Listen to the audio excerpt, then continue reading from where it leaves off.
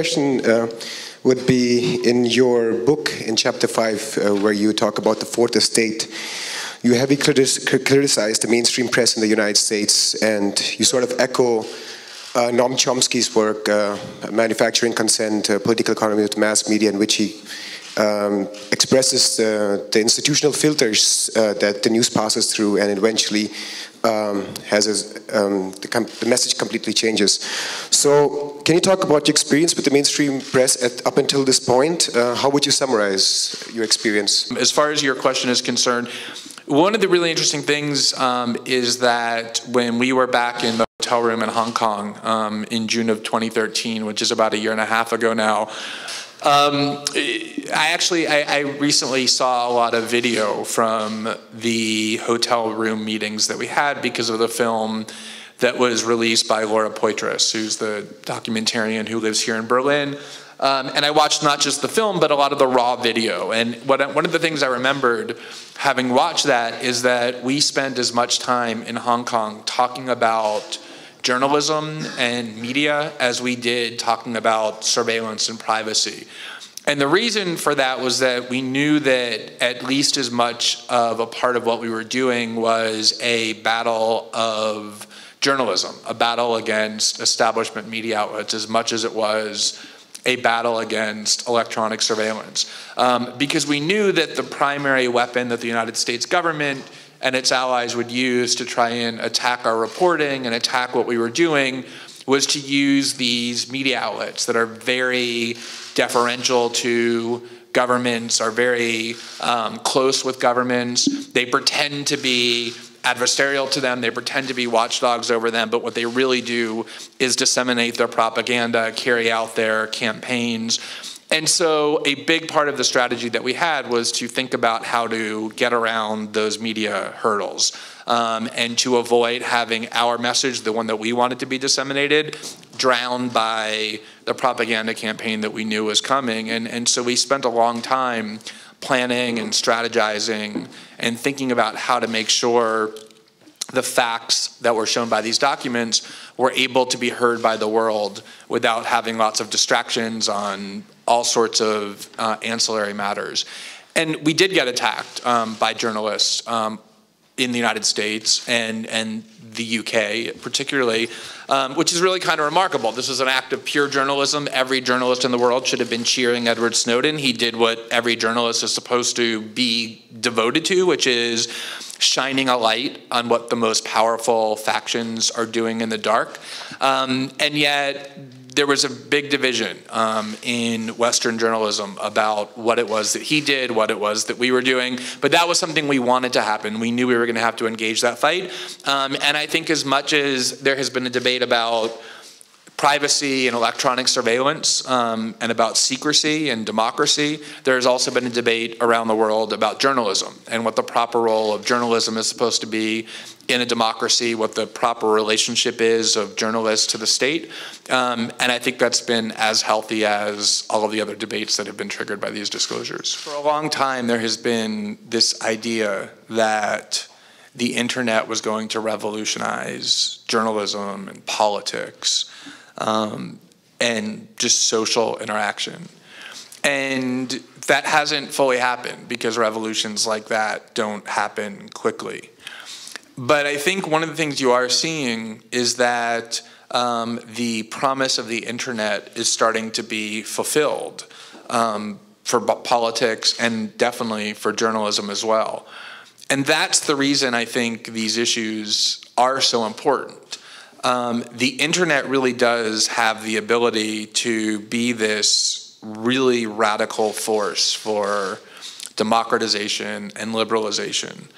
But that can only happen if it remains free, if you can use the internet without being monitored and uh, surveilled and controlled. And that's exactly the reason that there's such a effort underway to try and control the internet and to try and convert it from this tool of democratization into a tool of control. Um, and you saw, you know, with the Arab Spring, the first thing that the tyrants who were endangered did was they started to try and gather as much surveillance technology as they could because they knew two things. They knew that the internet would be this incredibly powerful force that would let people organize against them. But they also knew that if they could control it, it could help them protect their own power. This is the battle that caused Edward Snowden to come forward, and, and I think that has caused the world to be so interested in these revelations is the exactly that the power of the internet. Um, and you definitely see so many changes just in journalism alone. Um, you know, I, I, didn't start writing about politics or doing journalism until about 10 years ago. And even 10 years ago, um, if you wanted to reach a large audience with journalism, you pretty much had to go and work for some big media corporation, for the New York Times or NBC News or some big German newspaper or German television outlet here. And now, just 10 years later, not only don't you need to do that, it actually can limit your influence if you go and work for one of those large institutions. Um, there are people who just on Twitter alone have 100,000 or 200,000 or 300,000 followers who never have worked for a large journalistic outlet in their lives. And so it has completely diversified the kinds of voices that get heard, the types of information that we get, um, how we think about political issues. You know, I think the best example was six months ago um, when there was an Israeli attack on Gaza. And those kind of attacks have happened so many times in the past, um, and they usually get talked about in a very specific sort of way. And this time it got talked about much differently. Um, there was a lot more emphasis on the number of civilians who were being killed, the kind of indiscriminate nature of the attacks. And the reason for that was that instead of getting our information from Western reporters who were in Jerusalem, or even some in Gaza who had to channel their reporting through Western editors, um, we were getting our information from people who live in Gaza, just ordinary people who had cell phones and Twitter accounts or Facebook or Instagram accounts and would upload video of hospitals being exploded or their neighborhoods being destroyed. And it made it impossible to ignore. It made it impossible for Western media outlets to not cover that because it was being covered elsewhere. And it really changed the way a lot of the world perceived of that conflict. And I think you're seeing that over and over and over again. And that's a really powerful weapon.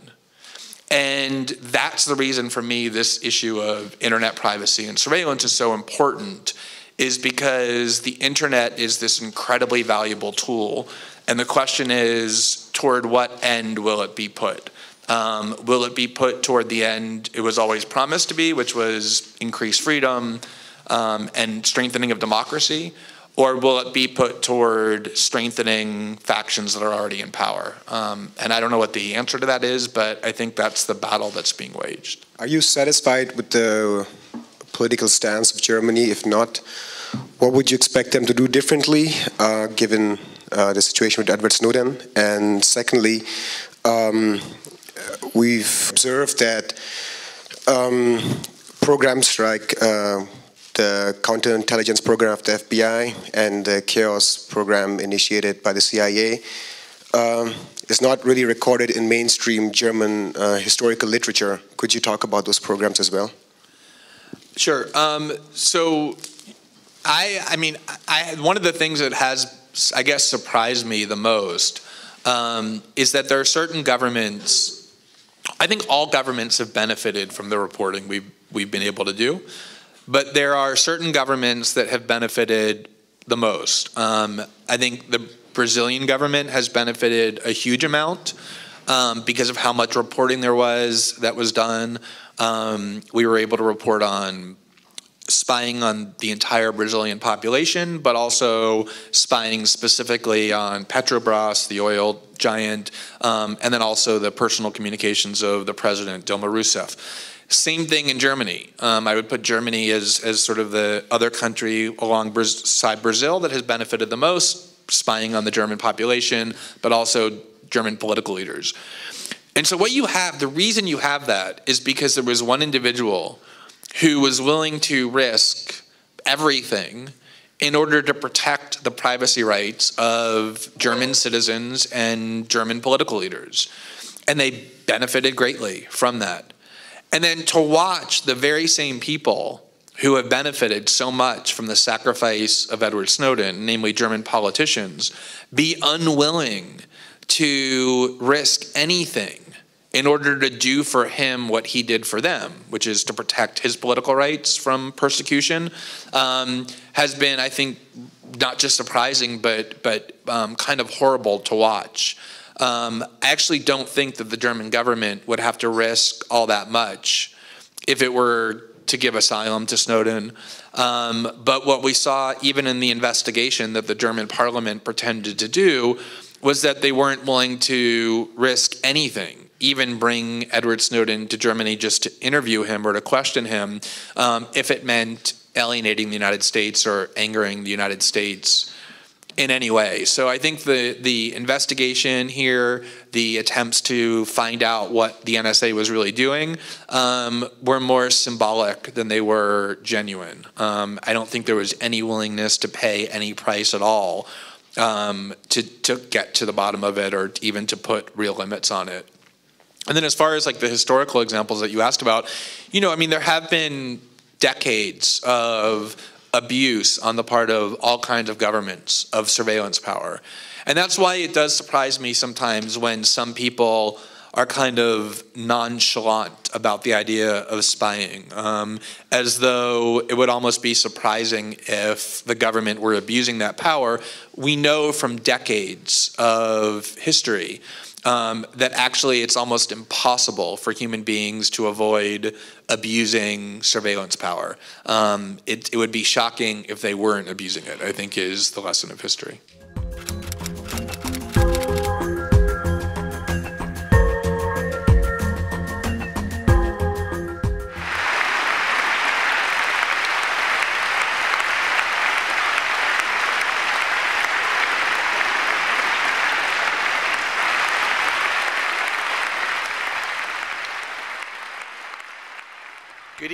To everybody, and thank you so much for that really warm welcome. And thank you as well to the City of Munich and to the German Association of Publishers and to the jury for this really profound award, which I am truly honored and humbled to receive.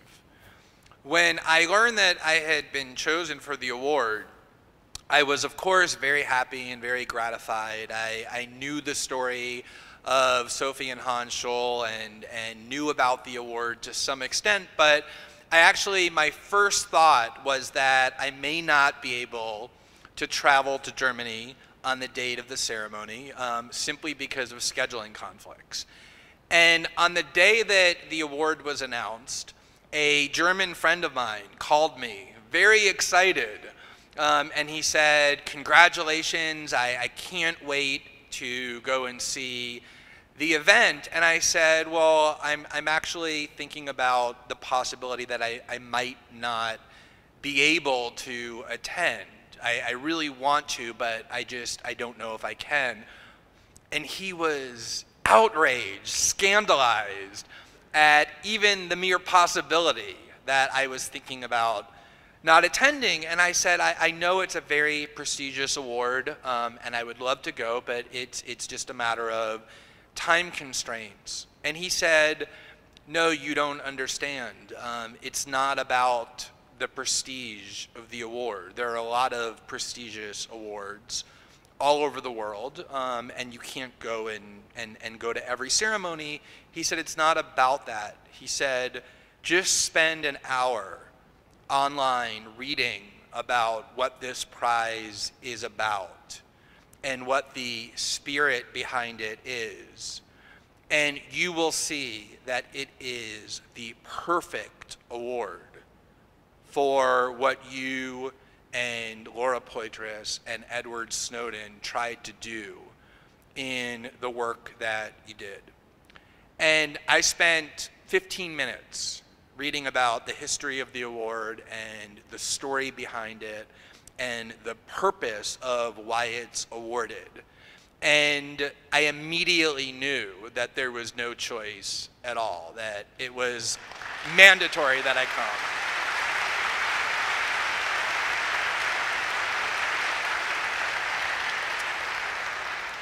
There, there has been a lot of attention paid to the disclosures of these documents, and, and rightfully so. We, we wanted the focus to be on the questions of surveillance and privacy in the internet age. But I actually think that there is at least as important a part of this story, if, if not a more important part of the story, and, and that is the human lesson that I think can be learned by looking at the events of the last 18 months. When, when I went to Hong Kong to meet Edward Snowden in June of, of last year, I had spent several weeks talking to him on the internet using encryption so that nobody could monitor what we were saying. And other than the fact that I knew he wanted to give me a huge number of documents that he said proved that the US government was illegally spying on the world. Other than that, I knew nothing about him. I, I did not know his name. I did not know where he worked. I did not know his gender or his age. And I traveled to Hong Kong with an expectation of who I was meeting that turned out to be completely wrong. I had this mental image of who he was, and I had assumed that he must be fairly old. In part because I figured if somebody was willing to risk their whole life to expose this injustice, it must be because they have spent year after year after year after year witnessing it and just got to the point where they were no longer able to stand by and do nothing. I also knew that he was going to risk spending the rest of his life in prison. And I think without really consciously describing it to myself, I assumed that it's probably easier to spend the rest of your life in prison if you're 75 years old rather than 25. It just seemed natural to me. And so when I got to Hong Kong and I met Edward Snowden for the first time, I, I say this without any exaggeration. It was probably the most confusing and disorienting event in my entire life there before me was not a hardened veteran of the American national security state, but a kid. I mean, he was 29 years old, but he looked at least five or six years younger. He was wearing a white t shirt and jeans and was very thin. He hadn't left the hotel room for at least three weeks, so he was very pale he looked like the average nerd that you see in a shopping mall or on a college campus. And when I sat down with him and started asking him about his life, it became even more amazing to me. It, it wasn't just that he was so young, it was that he was so ordinary. He was somebody who grew up basically poor. He, he had no power or prestige of any kind. He didn't come from a well connected or wealthy family with influence, quite the opposite. He was completely ordinary in every way. He didn't even finish high school. And yet, here was this person, completely ordinary in every way, prepared to do something so extraordinary. We in Hong Kong assumed, we were almost certain, that Edward Snowden's future was going to be sitting in a cage in an American prison by himself for the rest of his life. No prison is a good place to be. But an American prison, when you are accused of endangering national security, is one of the worst places to be. That was the assumption on which we were operating. Now, that was extraordinary enough that he was willing to risk going to prison for the rest of his life at the age of 29. But what was even more amazing to me, and this is something that influenced everything that I did in the work that I, I was able to do and will influence me for the rest of my life, there was never a single moment, not one moment, when Edward Snowden exhibited any slight fear or hesitation or remorse about what he had done. Even when we thought we were hours away from having people knock on the hotel room where we were working to take him away, even when the US government made him the number one fugitive of the world's most powerful government, they were so desperate to get him that they actually forced a plane carrying the president of Bolivia to land in Austria. That's how crazy the US government was to get him. Even when all of that was happening, there was never a moment where he thought to himself or showed, maybe I did something I shouldn't have done. And I spent four or five of the first days when I was in Hong Kong doing very little other than trying to understand what would cause somebody at the age of 29 with a seemingly happy and fulfilled life. He had a very good job. He, make, he was making a lot of money. He had a girlfriend who loved him and a family who supported him. He was willing, in fact, eager to throw all of that away simply in defense of a political ideal. He was willing to risk sitting in a cage for the next 40 or 50 years in order to combat this injustice. And I wanted to understand why that was. And what he ultimately told me, and it took a long time for me to, to understand it, he said that based on his view of himself and ethics and morality and his duties as a human being, that if he had to spend the rest of his life knowing that he had confronted this extreme injustice and had the opportunity to stand up to it, but chose not to because of fear, he said the pain of having to live with that knowledge, the pain of having that sit on his conscience, would be so much worse than anything the American government could do to him. And that was why he did it. Now, one of the things that I have thought about a lot over the past 18 months is that although that seemed remarkable to me at the time, it's actually fairly common. If you look at how injustice is confronted throughout history, not just in the United States, but almost in every part of the world, you'll find that it's essentially the Edward Snowdens, people who are ordinary, who have no particular power or position or prestige, who take it upon themselves to risk everything in order to fight the tyranny or the injustice that they see. It's people like Rosa Parks, the ordinary African American woman who refused to sit at the back of the bus, or it's a street vendor in Tunisia who sets himself on fire and sparks an extraordinary revolution against the worst tyrannies in the Arab world, or it's kids like Sophie and Hans Scholl who, for whatever reason,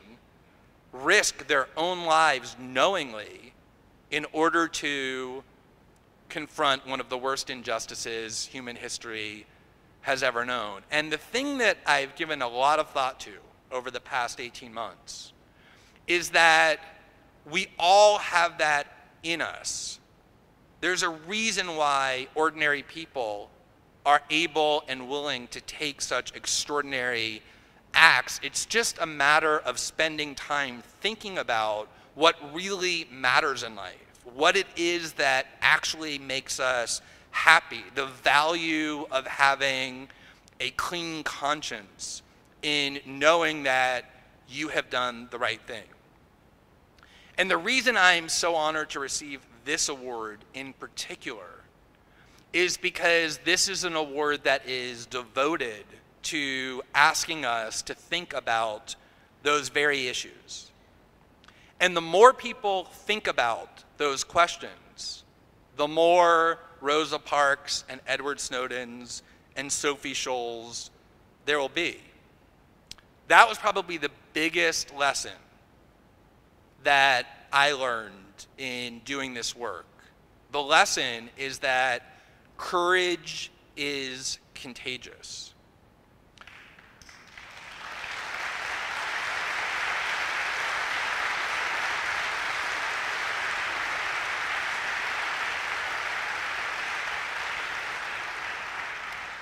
You know, when, whenever I, I talk to Laura about the work that we ended up doing, we, we think back to that time in Hong Kong, which was so intense and, and entailed so many different decisions. And ultimately, I think what we realize now more than anything else is that we almost really didn't have any decision at all. When we saw this 29 year old in total anonymity, willing to take the biggest risks you can take as a human being, we knew we had the obligation to do this work in the same spirit that animated him. And we knew we were going to be threatened with prosecution by the US government. We knew there was a chance that we wouldn't be able to go back to the United States for a good long time, if ever. We knew that things would happen like having our internet communications surveilled and monitored and having the people closest to us, like my partner, detained and targeted. And we felt like we had no choice. The spirit of courage that Edward Snowden displayed infected us. And that in turn infected journalists at The Guardian and journalists at Der Spiegel and journalists all over the world who worked on these materials without any fear of any kind. And this ultimately, to me, is the biggest lesson, which is, you know, I write about, I've been writing about politics for 10 years now. And it's very easy sometimes for people when they look at some kind of an injustice by a powerful government like the United States to tell themselves, well, there's nothing I really can do. I, I don't have enough power. I don't really have the ability to stand up to this. And I think the acts of people like Edward Snowden and Sophie and Hans Scholl and so many other people prove how false that really is. The lesson of history is that any kind of injustice any institution built by human beings can be confronted and resisted and torn down and destroyed by other human beings if the will and the moral courage is summoned. And that's a lesson that I think none of us should ever forget.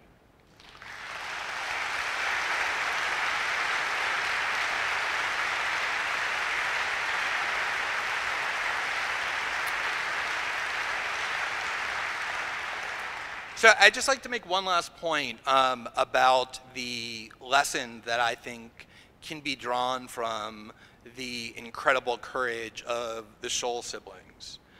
there, I think, is some kind of a resistance sometimes to drawing lessons for contemporary society from heroism or resistance of the Nazi era. There's a tendency to think, well, that is a singular evil, and we shouldn't really make comparisons. And maybe there's some sense in which that's true. But the only way that those kinds of acts do have meaning is if we draw lessons from them. And I think there's also a sense that there's something maybe inappropriate about comparing resistance done in the face of a regime like Nazi Germany to resistance that is done in the context of Western democracies. And I have to say, I, I find that idea that there's something inappropriate about comparing those things to be really quite invalid. I think that it's really worth asking, first of all, to recognize that democracies are capable of all kinds of horrible acts. The regime that the Scholls confronted was a regime ushered in in the first instance through a democratic election. But I think it's worth asking what do we mean when we talk about democracy? Is it simply that every three or four years citizens are able to go into some box and press a button and pick the person that they want to have political power? I think democracy means a lot more than that. The people in Egypt were able three months ago to go and press a button for the person they wanted to have political power. People in Gaza were able to do that when they voted for Hamas. People in Afghanistan just did that when they elected a new government. I don't think any of us would say that those are really democracies. Democracy requires more than that. At the very least, at the very least, what democracy requires, if it's going to be more than just a symbol or a word, is that we as citizens know about what the most important acts are that the people in political power are doing. It has to be an informed choice in order for it to be meaningful. And one of the things that has happened in my country, the United States, but also its closest allies in, in the UK and, and Canada and Australia, and I think even to other EU states, is that the fear of terrorism has been exploited to justify an abandonment of those principles. What was most amazing to me in reading through these Snowden documents for the first time was not just how vast and comprehensive the spying was, the fact that there were billions of emails, billions of emails and telephone calls being collected and stored every single day. That wasn't even the most stunning part of it to me. What was more stunning was that my government and the British government and three other governments in New Zealand, Australia, and Canada that called themselves democracies had done all of this without any disclosure, any knowledge on the part of the citizens. Now, you can have debates about what details should be kept secret, what technical terms should be concealed, but I can't imagine that there's anybody who would say that governments have the right to do something this significant to turn the internet into a realm of unprecedented monitoring and control, and to do so without any democratic debate, any disclosure, any knowledge on the part of the citizens who are supposed to exercise informed consent. And the reason that Edward Snowden came forward, and the reason that we decided to do the work that we did in such an aggressive manner, was because we knew that this system was not just a threat to privacy, but a threat to democracy itself. And we wanted to do what I think journalism is supposed to be about, which is blowing a massive hole in the wall of secrecy behind which the world's most powerful governments are operating. And I am thrilled and excited, as I know as Edward Snowden, that the work we've done has created a global debate, not just about surveillance and privacy, but about secrecy and government abuse of power and the proper role of journalism. And it has caused human beings for the first time in the digital age to think about the power of the internet and what it can be if it is free and compare it to the weapon of oppression and control that it can become if it's not free. And I don't know the outcome of that debate. I don't know what the internet will become. But what I do know is that as a result of the work that we've been able to do over the past 18 months, that decision will be made by all of us in the open. And I can't imagine there's anybody who thinks it should be any other way. So with that, I, I thank you again very much for coming, and, and thank you so much to uh, the, the prize award and the jury for giving me this prize. Thank you so much.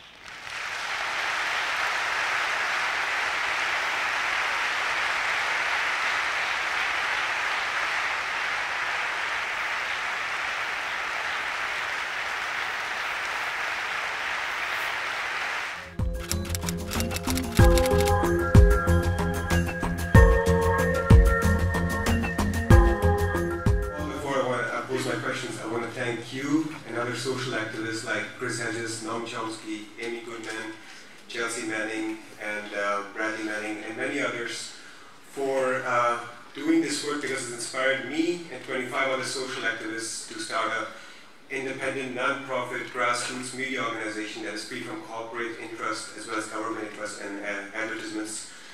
And uh, you've taught us uh, and reminded us the value of an independent media and the role it plays in promoting democracy and upholding it.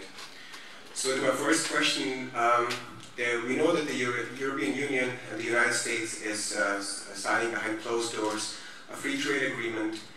Have your revelations uh, sort of exposed or have you come to the conclusion that the NSA is facilitating this uh, free trade agreement?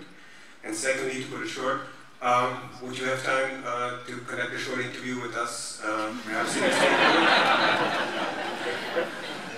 We'd be grateful for that. For that. Thank you. Well, I'm glad I, have inspired your very creative journalism, your use of question period to ask that. Um, no, but thank you for those, those nice words. Today we're joined by Glenn Greenwald, the journalist who exposed the NSA documents attained by Edward Snowden. He's also the author of the book called No Place to Hide. Glenn Greenwald, thank you for joining us today. Great to be with you. So, uh, Glenn, could you tell us if applications um, such as Facebook, Google, Yahoo, Skype are safe uh, for uh, our German viewers to use?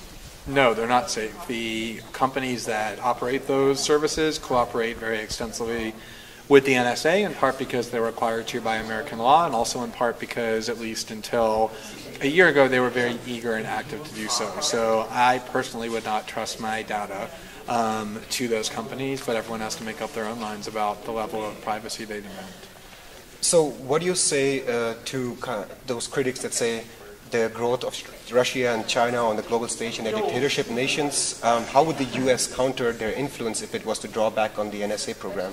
Well, ironically, right now the U.S. is spending $75 billion a year mostly to destroy privacy on the internet. And when they destroy privacy on the internet, they do things like weaken encryption technologies, privacy protocols, and they actually make the internet more unsafe, easier to attack from other countries like Russia and China. So if the United States spent a fraction of their budget on improving privacy technologies rather than trying to undermine them, they could actually defend their own citizens' communications from invasion by other countries, including Russia and China, and make the internet a safer rather than a, a more unsafe place to be. So you've just given us an alternative, alternative policy framework that the U.S. government can pursue. What could you tell the individuals um, to pursue activism to halt this sort of program? I mean, I think activism, and there's no easy answer to that question. It depends on the individual country. I think there are a lot of pressure points that are being applied by citizens around the world to make their government either curb their own abuses or work to curb the United States.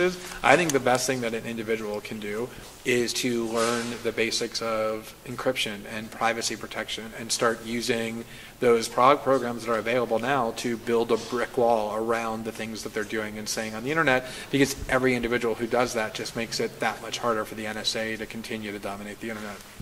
Glenn Greenwald, thank you for joining us today.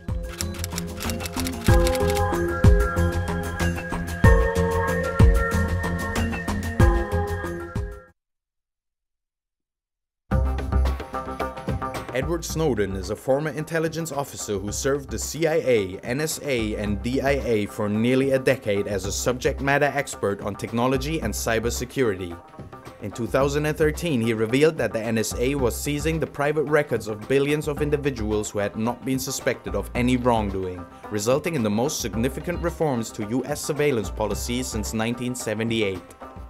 He has received awards for courage, integrity, and public service, and was named the top global thinker of 2013 by Foreign Policy magazine.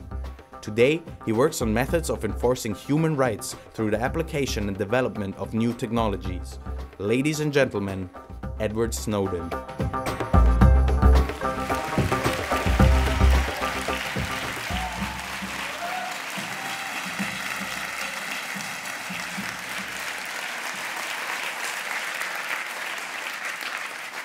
Can somebody put him up on the screen, please?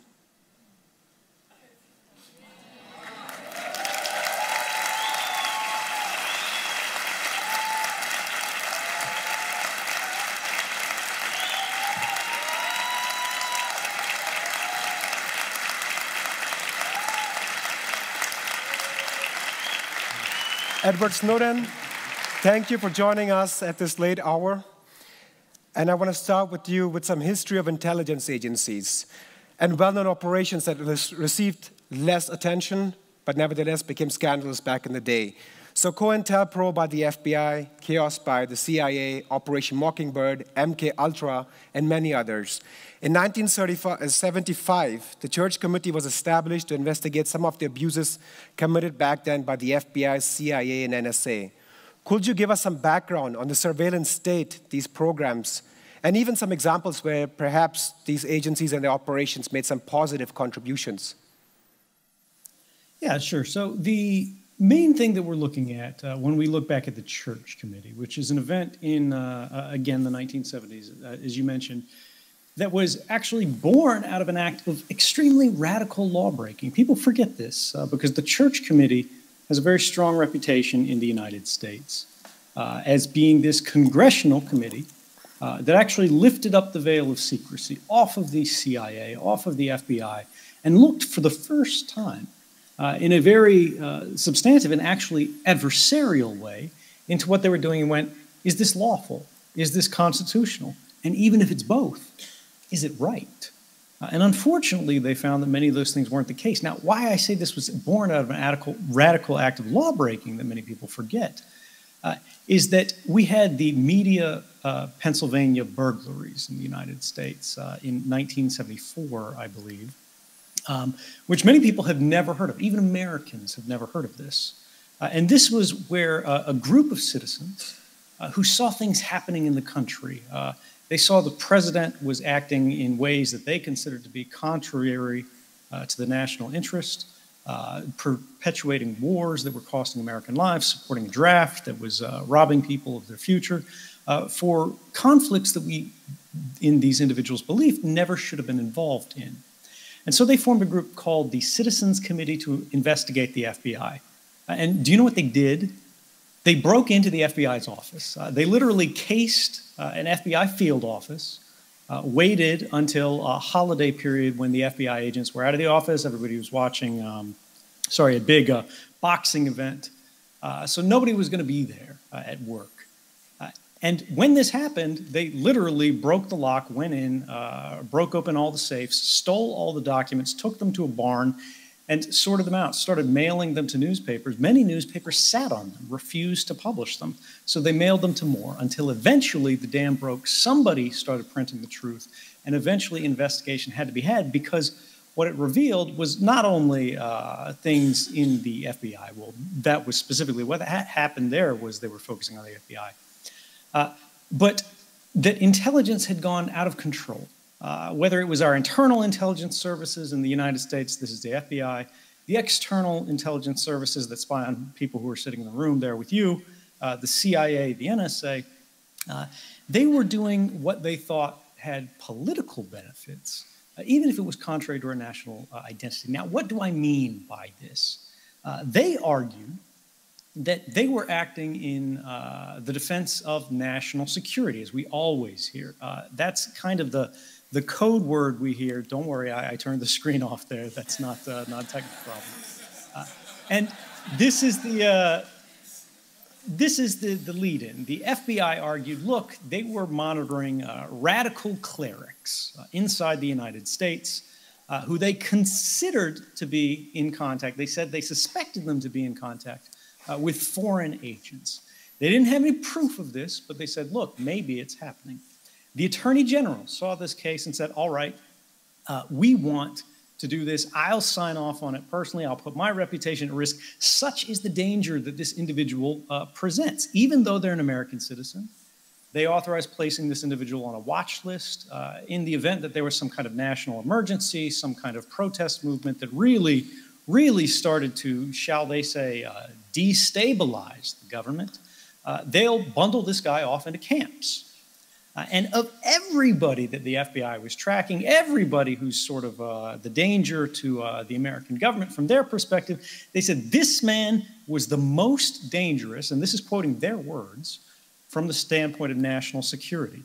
Uh, for people in the audience who may not be familiar with who that is, that was the most famous civil rights leader in the history of the United States, Martin Luther King Jr., a civil rights advocate who sought to uh, establish recognition of racial equality in the United States.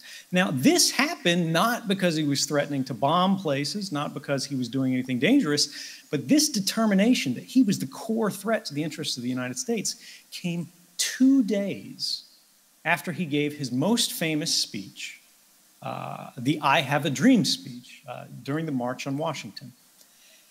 Beyond this, the FBI uh, was going further. Uh, they weren't just saying he's a threat to national security.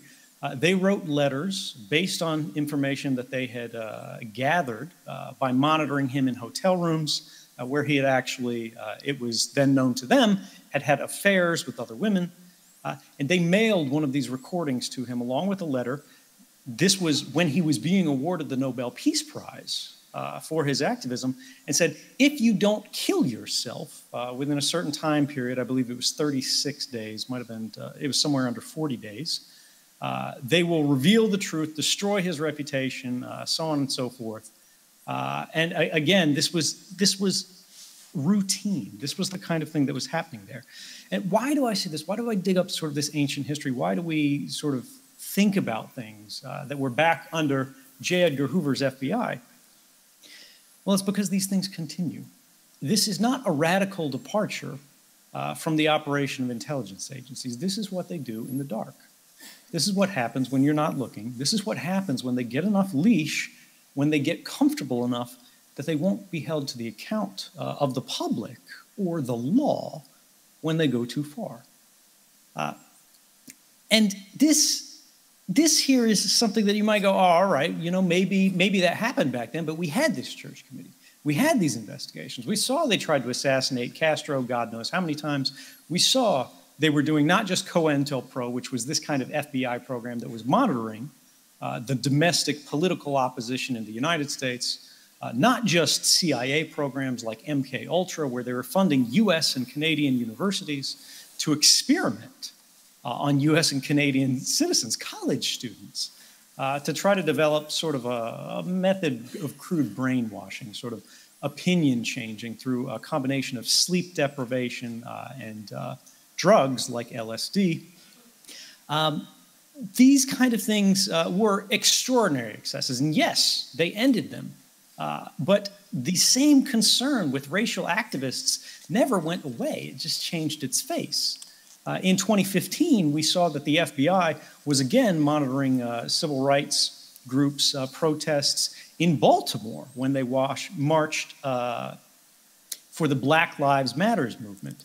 Uh, they got airplanes uh, that they contracted that were secretly run by the FBI. Uh, they weren't registered in, in a way that the government was going to say, these are our planes, they're doing surveillance missions. It was uncovered by journalists because they saw a flight path that looked like this. Uh, citizen journalists saw there were planes that during the period of this protest just constantly circled the city again and again and again. And when they looked at later, uh, and they actually started forcing the government when they started going to records, when they started looking at Congress, or uh, sorry, contracts, uh, they went, you know, this is something that the government is going to have to admit sooner or later. We're going to get caught red handed on this, so we need to admit it. And they did admit it. They said, look, we did it, but we're just simply trying to maintain the mm-hmm. peace. Mm-hmm. We're just simply trying to maintain national security. What this actually means is the same thing that it meant when they were monitoring Martin Luther King. National security doesn't mean what it sounds like to you and me.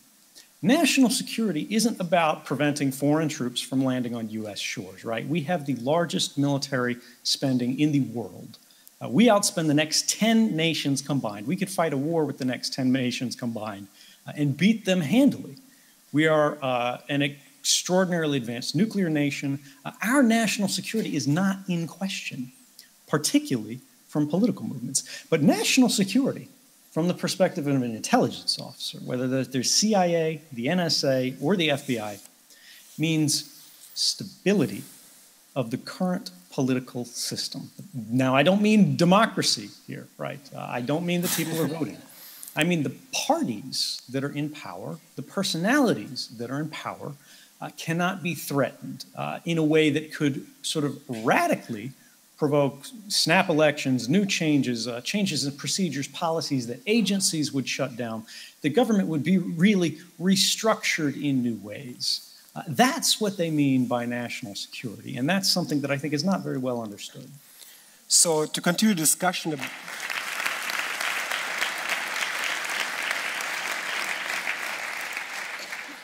So to continue discussion of history, can you brief, briefly list some whistleblowers who perhaps did not get that much reach as you did, but did meaningful work and influenced your views?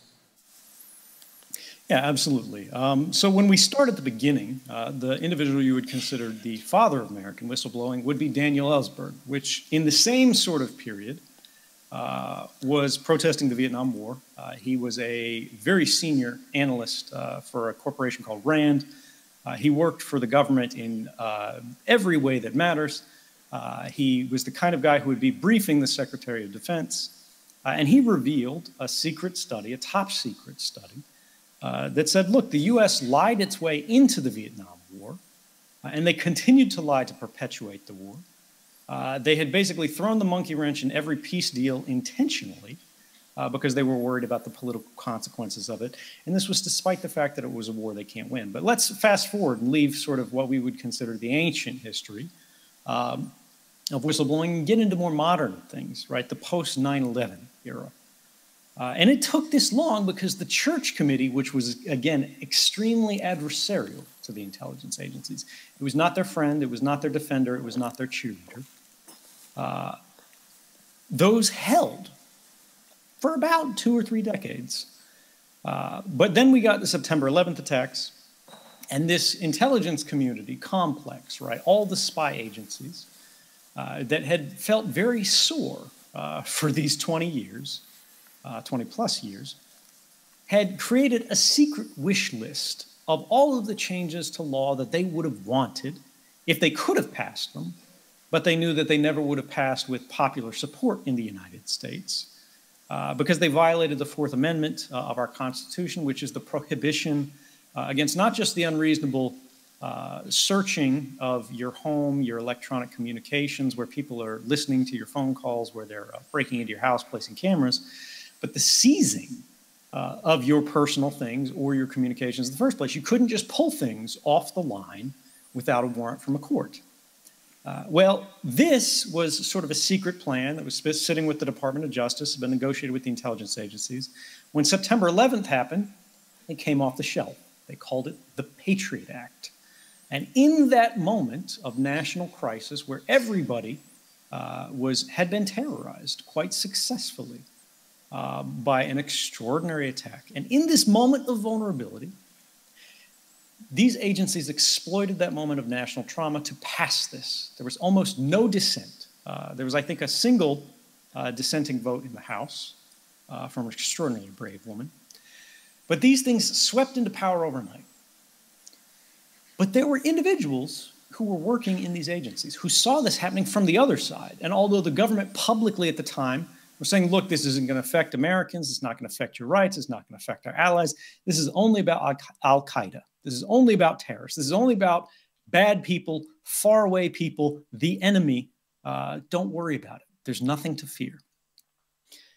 Individuals like uh, Thomas Drake, Bill Binney, uh, Kirk Wiebe, Ed Loomis, uh, these individuals were sitting at the NSA and they went, well, if this is the case, why are we ordering huge amounts of electronic equipment and putting them inside the United States at telecommunications providers that aren't monitoring foreign communications, they're monitoring wholly domestic communications.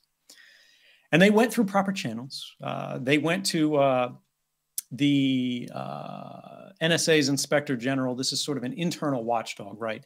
Uh, it's supposed to be a relic of this 1978 era reform uh, of the church committee that says, look, when there's problems in classified areas, you go to this watchdog in the government, you tell them what's going on, and they'll fix it. They'll investigate. They'll find are these activities unlawful? Are they unconstitutional? Are they contrary to the values of the nation? Uh, are they waste, fraud, or abuse of the government's authorities? Uh, and when they did this, when they went internally, this one individual, particularly Thomas Drake, is the one the government came after the hardest. Uh, the NSA's number two lawyer, they've got about 100 lawyers. Uh, this guy was the number two.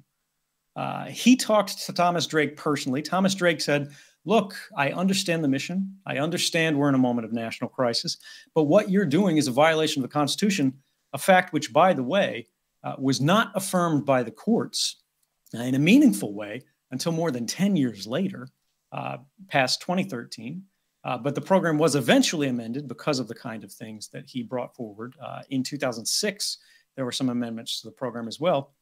But the NSA's internal process, this watchdog that was supposed to be protecting the Constitution, that was supposed to be waiting for men like Thomas Drake to stand up and say, Whoa, somebody's breaking the rules here, he responded like this.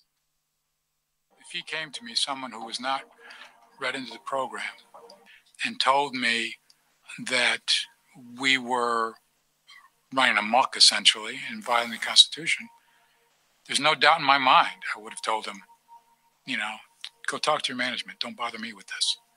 I mean, you know, you, you, did the, the minute he said, if, if he did say, you're using this to violate the Constitution, I, I mean, I probably would have stopped the conversation at that point quite frankly. So, I mean, if that's what he said, he said, then anything after that, I probably wasn't listening to anyway. This new wave of whistleblowers, uh, the Thomas Drakes, the Bill Binneys, the Kirk Wiebes, the Ed Loomises, uh, even the John Kiriakous, uh, the Chelsea Mannings. Um, if it had not been for them and their examples, I might have replicated their mistakes. Uh, Thomas Drake, for going through these proper channels, uh, was hounded by the US government. He was charged under the Espionage Act, the same laws they accused me of violating. This is a law that does not provide a fair trial.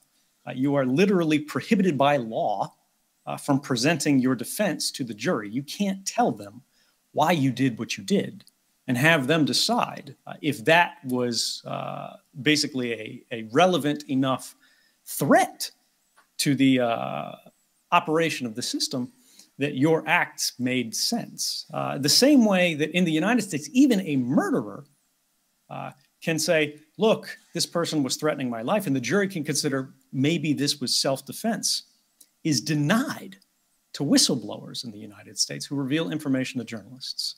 Under US law, it doesn't matter. These men did it anyway. They did everything right. They even went to Congress. Uh, going to journalists was an act of last resort. And for that, the US government destroyed their lives. Uh, none of them uh, continued in their career. Many of their pensions were threatened. Thomas Drake uh, was charged with multiple felonies. Bill Binney was pulled out of the shower at gunpoint. Uh, Chelsea Manning is currently serving 35 years in prison in the United States. Uh, and I say, if it had not been for these individuals, uh, what I did, my own actions, and the public benefits that have derived from them would not have been possible. We know.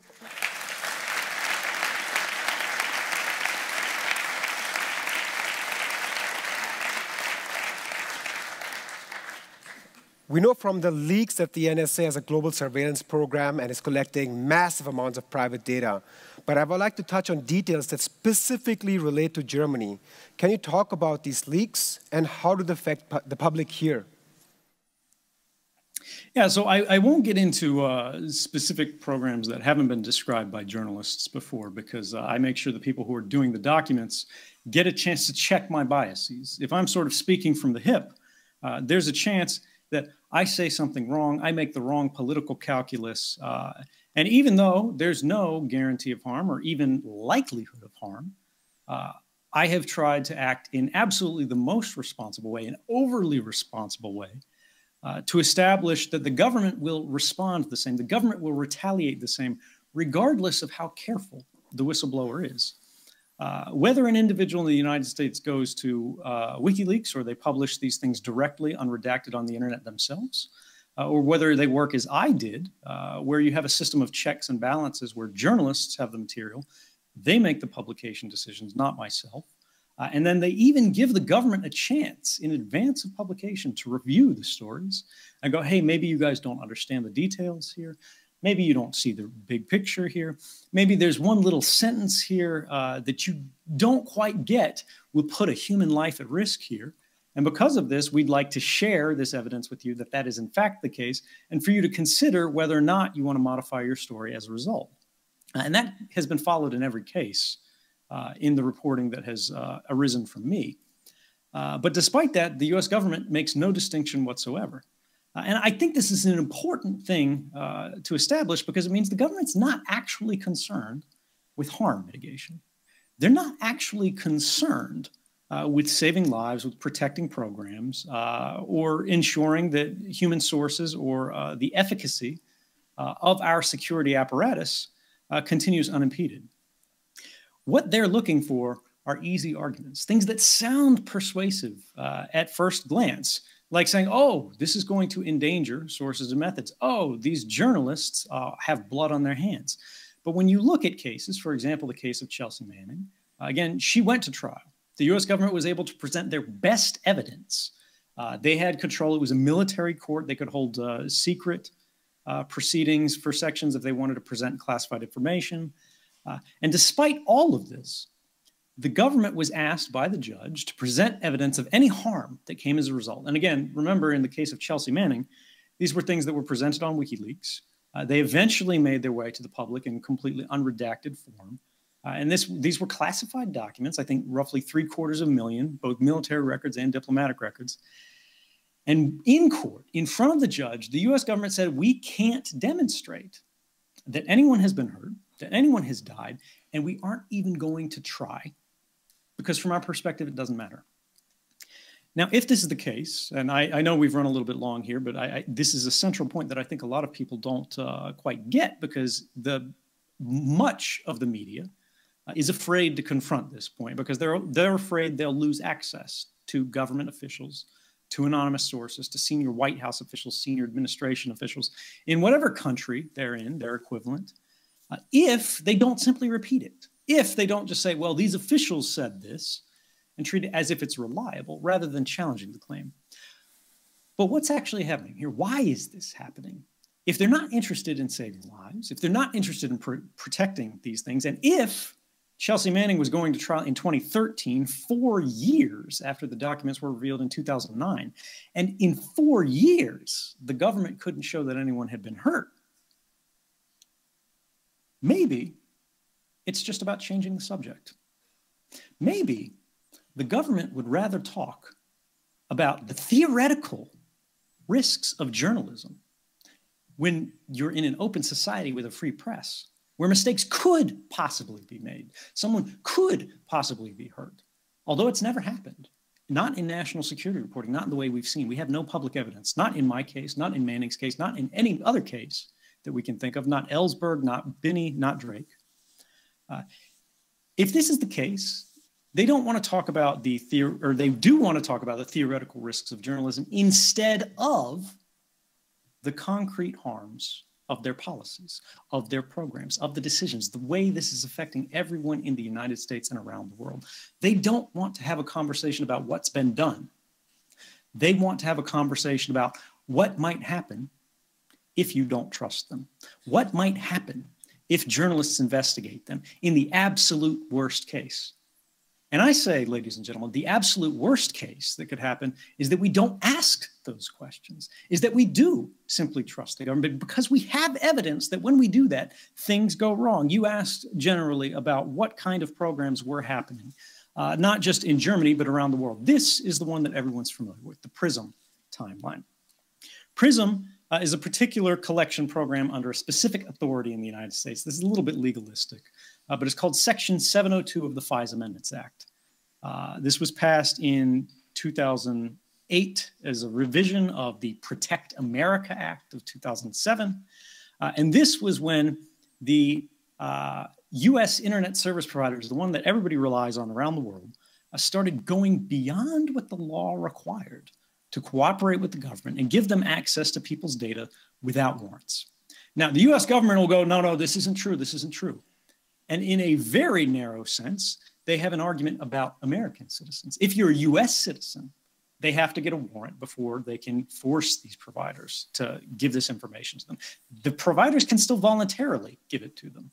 Uh, and this is in fact a business model for places like AT&T. Uh, AT&T will give your information to the government. AT&T is one of the largest telecommunications providers in the United States. They'll give this information to the government as long as they pay for it even without a warrant. They'll use lower standards uh, uh, of requests like subpoenas. But it's not just PRISM. Uh, there's also what's called the upstream collection program. Now, this happens uh, both under that same authority, Section 702 of the FISA Amendments Act, that's the FAA 702 at the top. This is the transatlantic internet cables uh, and the ones that are happening under the ground.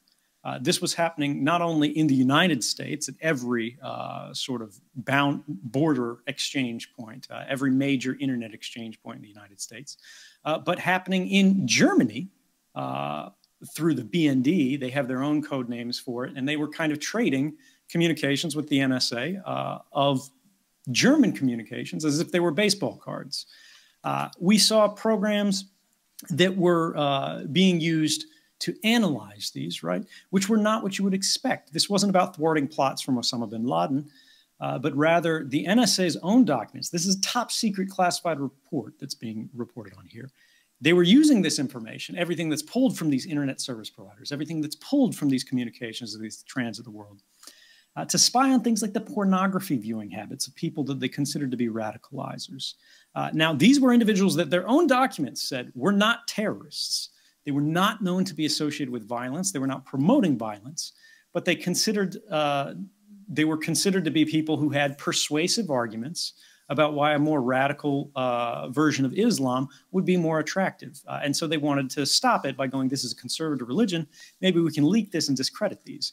You might think that's appropriate, but you know, this is these are the kind of questions that we should answer publicly, politically, rather than have a few officials behind closed doors do it. The GCHQ, the British NSA, uh, was intercepting webcam images from people uh, around the world. Anybody who was using Yahoo Messenger back in the day, uh, I believe it was every five minutes, it was snapping a picture uh, from the webcam, uh, or it was intercepting a picture from the web stream every five minutes uh, and saving those largely permanently, very long periods of time. they, the British government knew it had sexually explicit images in it. They knew uh, a lot of their employees had looked at them. They kept it going anyway. Uh, it was happening in Australia. Uh, this is recently, actually post 2013, where new metadata uh, bulk collection laws, right? This is a, the government's preferred way of describing mass surveillance, which is this indiscriminate targeting uh, of surveillance where you collect everyone's communications, whether they're a terrorist, whether it's you, whether it's the person sitting next to you, whether it's your mother, uh, whether it's the person you walk by on the street, everybody's communications are collected. Uh, these kind of laws are sweeping the world. Uh, it's legal in the United States. It's legal in Canada. It's legal in Australia. Uh, I believe Germany is actually beginning to embrace this as well under laws that they say are reform laws, but are actually making things worse. Uh, but when they have access to these laws, what are they using them for? Well, in Australia, the Australian Federal Police used it to try and identify uh, the source of a journalist uh, whose reporting they didn't like very much.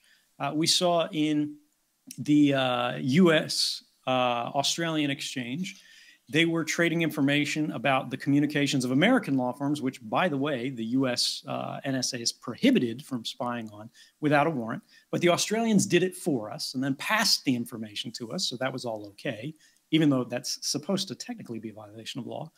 Uh, and what were these lawyers doing, right? They weren't negotiating arms deals. Uh, this wasn't about transnational terrorism.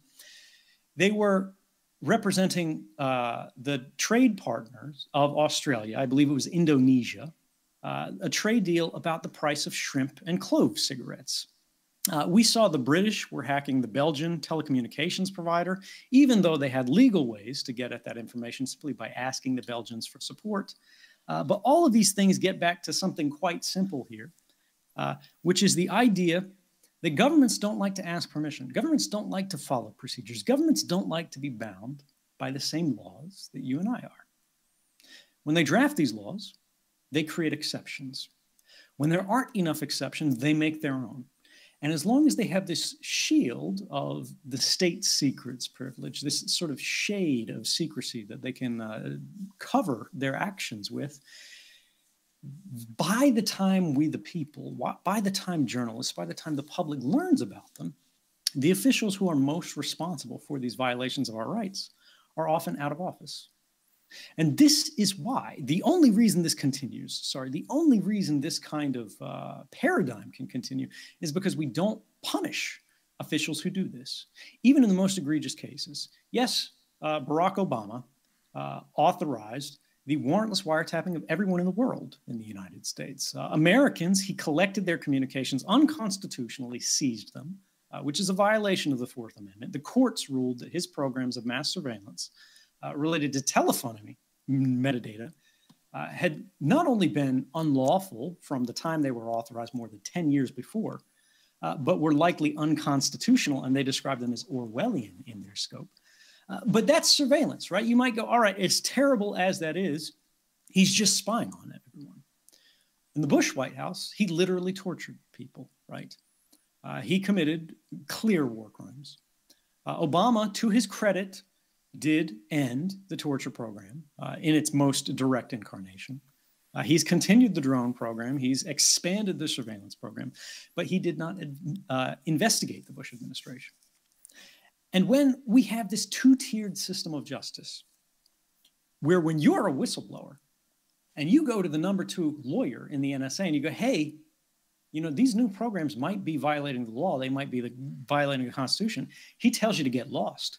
He puts the Department of Justice on you. You get investigated. You lose your job, you lose your house, you lose your wife, you lose your freedom because you go to jail, you get arrested.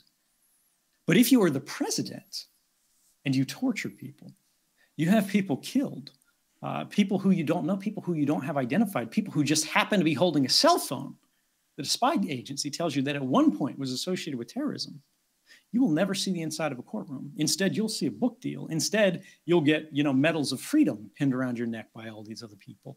Uh, this creates a system of incentives that will shape human behavior in obvious ways. If you were the president, you had unlimited power, you knew that you could get away literally with murder, and no one would hold you to account for it why wouldn't you? Now, there are some people who might have the moral fiber to hold back from that. There might be some who will go, I won't do this, I won't do that. And that's better than nothing. But how do we get powerful officials, whether it's the president of the United States, whether it's the chancellor in Germany, whether it's the president of Russia or China or anywhere else, to abide by all rights, to respect all people everywhere at all times? The only way we can actually make sure that happens is if we can see what they're doing, when they're doing it, we can witness crimes, and then we can enforce penalties. That's something that's missing, and until we change that, we and ultimately liberal society around the world will be at risk.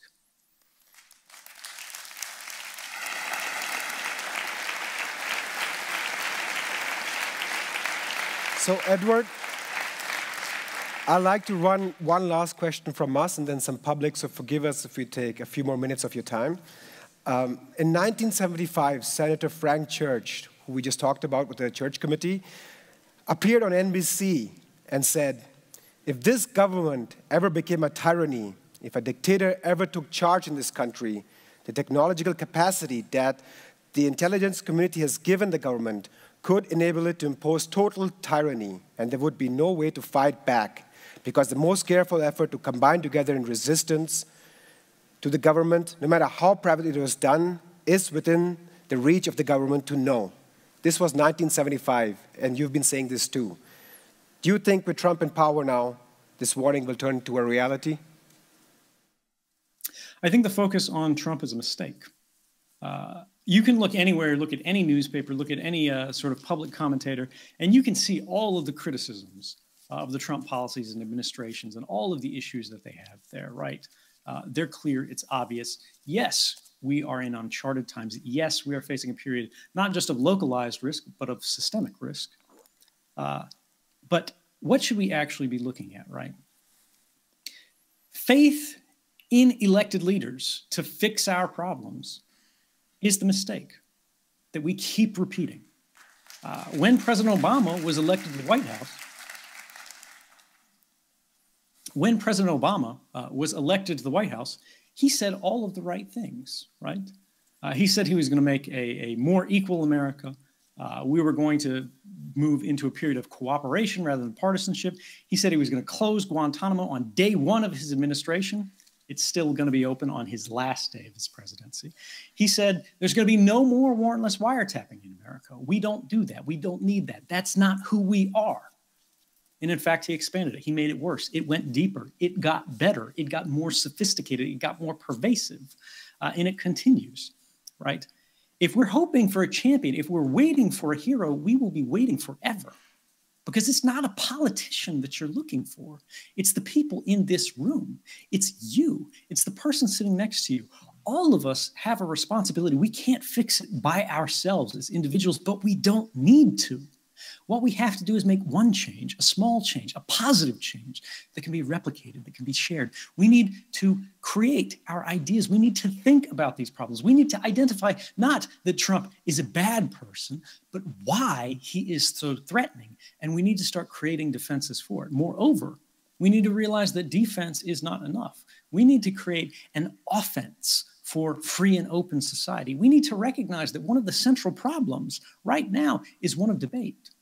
Words no longer have the same meaning that they once meant. We hear words like terrorism and we go, ooh, that's terrible. As long as it's terrorism, we have to stop everything. And when you think about terrorism like a normal person, that makes a lot of sense. Nobody wants people flying planes into towers. Nobody wants people detonating bombs in marketplaces or on subways or shootings in the street, right? But terrorism doesn't have a single agreed upon definition. There are governments charging people with terrorism who are simply acting in ways that are traditionally considered to be political protest, right?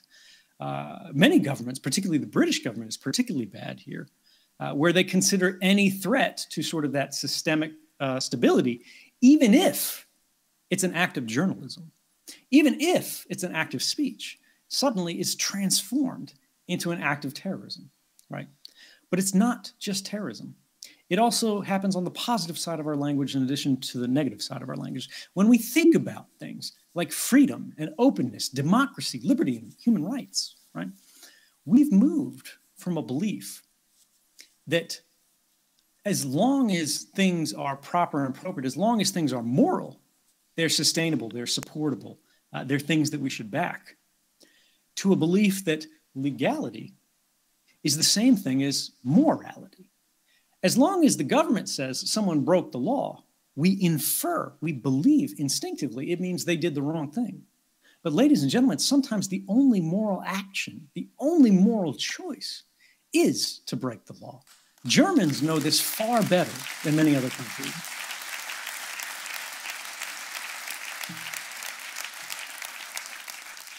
But it's not a uniquely German problem. In the United States, whether we're talking about the uh, abolition of slavery, the prohibition of alcohol, whether we're talking about the enfranchisement of women, allowing them to vote, uh, all of these activities were considered to be threats to stability of the days. Uh, these were things that terrorized institutions and government officials. These made these individuals uncomfortable. It made them feel vulnerable. It made them feel threatened. And you know what? That was exactly the right choice. When people are progressing the boundaries, when they're expound, expanding the borders of human rights, right? That always begins as a riot against orthodoxy. Whether it happens in the street, whether it happens in the newspaper, whether it happens in writing, whether it happens on the TV, it is a contest against the status quo. You have to remember that all of these injustices that happen all throughout history, the worst things that you can imagine, uh, whether it's in your domestic history or international history, were legal at the time. Abuses of human rights are always legal in the national context when the government wants to do those kind of things. Uh, at least for the period of operation. It may be years later that it's condemned. It may be years later that it's disowned. It may be years later that someone sees the inside of the courtroom. But power is its own law. And we have to think about how do we remediate that? How do we make things a little bit better there? And this is a difficult question. I can't claim that I have the answer, but I think one of the things that we start forgetting about is to recirculate basic principles, basic ideas that everybody needs to share if we're really going to live in a free society, if we're really going to live in a free world. And that's that human rights belong to everyone. The worst excesses of the US surveillance system are premised upon a single idea, which is that Americans get one set of rights, everybody else gets basically no rights.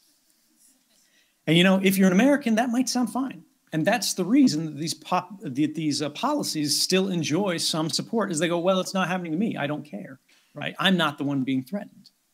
But 95% of the world's population lives beyond the borders of the United States. And the same is true of practically every country, right? The percentages change here and there, but it's a big world. Uh, and we have a lot of people. And if we're going to protect the rights of anyone, we have to be able to protect the rights of everyone. And this gets back to thinking about well, why do we have rights? What are we protecting? What are we trying to create? What are we envisioning? Where are we trying to go? And I would argue this is the idea of liberty. But if you ask people, ask the person next to you what liberty means to them, right? They might not be able to articulate it very clearly. Everybody will have a different answer, right? And we need to think again about what liberty means today. I think liberty is the right to ask, sorry, liberty is the right to act without permission. It's the ability to take a choice without worrying what it's going to look like in some government databases, without having to worry about what some government bureaucrat is going to do. Are they going to be upset? Are they going to retaliate? Are they going to do something that will impact your rights, your freedoms, right? Uh, liberty is being able to live day to day, moment to moment, in an instant from your own head, from your own self, from your own community, thinking about your family rather than thinking about structures that owe you no loyalty, that see you as more of a potential threat than a potential ally, right? And this is something that really isn't a solution, right? But it is a beginning. If we can agree that in a free country, in an open society, the number of times people have to ask permission to do things the times people have to register to do things, the times that people have to worry that government officials are going to be trawling through their web history. They're going to be looking at the records of who was in this room right now, because I hate to tell you, ladies and gentlemen, if you have a cell phone on you right now, you've left a permanent record of being at this talk. Not that it's going to get you thrown in jail, but that it's discoverable. And an intelligence agent who might be sitting like me in Hawaii or sitting in Darmstadt or Ramstein or one of these other areas, uh, Bad Aibling, uh, could look at these and make inferences about who you are, about what you believe, about what you're likely to do. I don't believe that we should live in a world where every time you pick up the phone to call someone you love, to talk to a friend, to share an idea, to just tell someone about what was happening in your day, that you need to think, what's this going to look like? That is many things, ladies and gentlemen. But I would argue that that is fundamentally illiberal. It is fundamentally unfree, and it is fundamentally unjust. And it should change.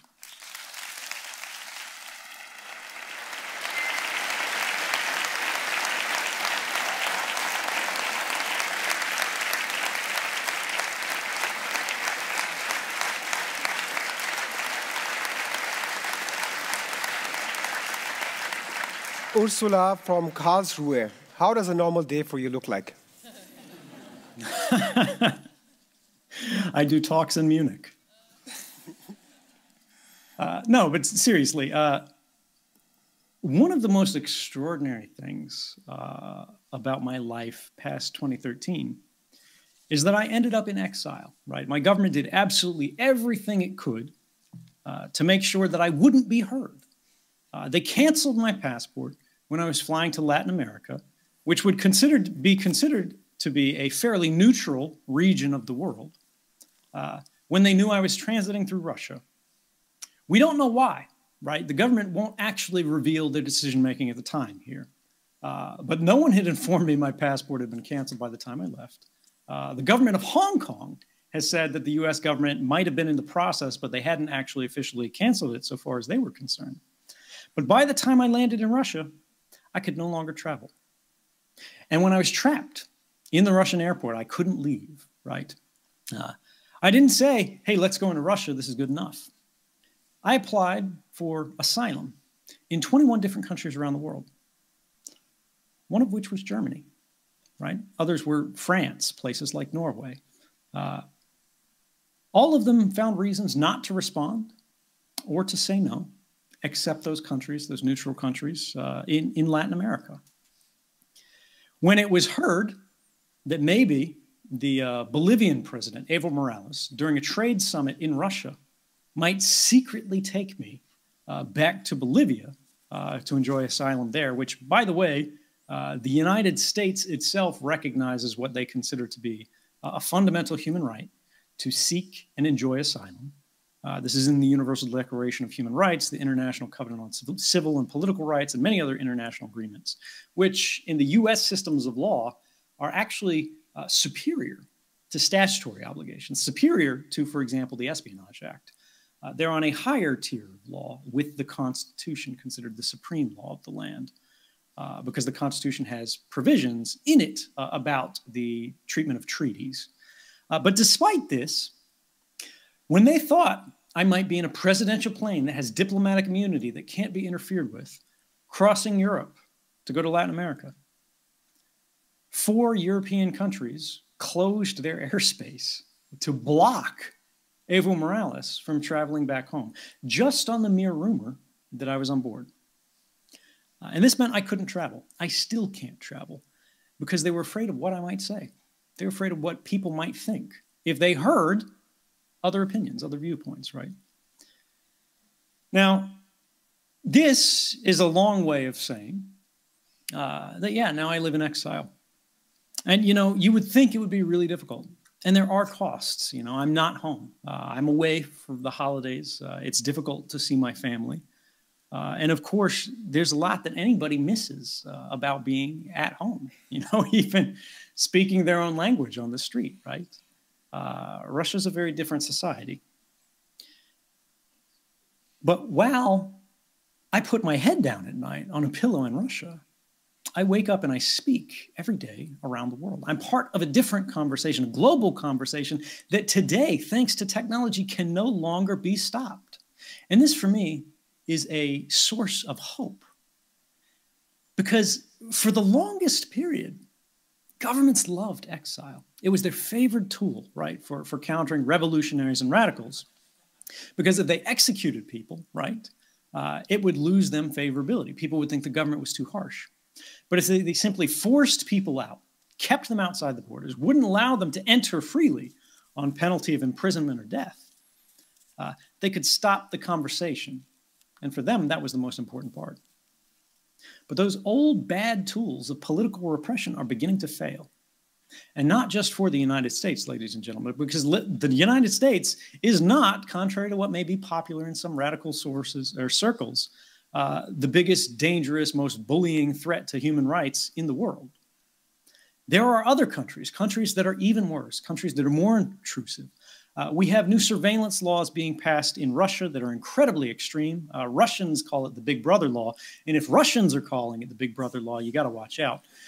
The United Kingdom uh, the United Kingdom passed the most extreme surveillance measure in the history of the Western world in a free and open society uh, that was backed by their now prime minister uh, called the Investigatory Powers Bill, right? Doesn't sound particularly threatening, doesn't sound particularly dangerous, but it encoded and enshrined in law the mass surveillance regime, uh, the kind of bulk collection that we were discussing before.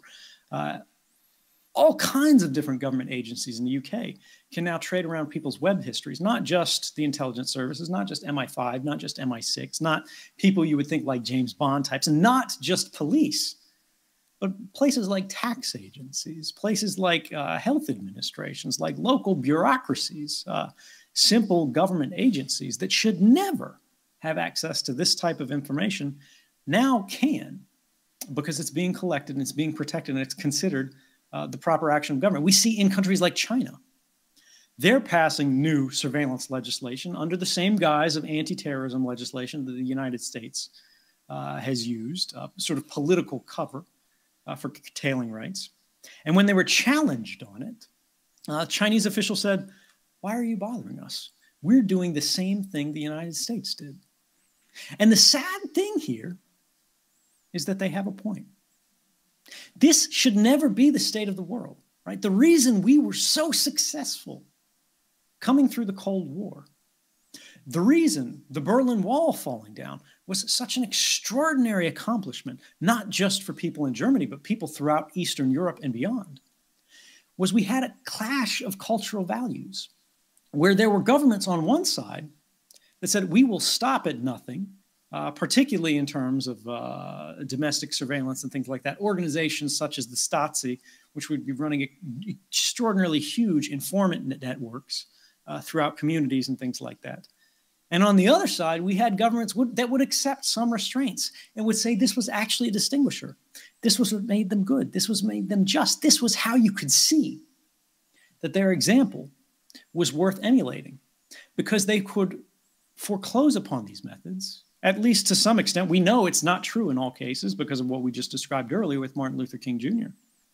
But largely, in the most aggressive sense, they could say, we don't need these powers. We reject these powers because they are corrosive, not just to civil participation, right? Not just to what people feel in their communities, but to trust in government. If people can't trust us, if people can't identify with us, we can't be successful.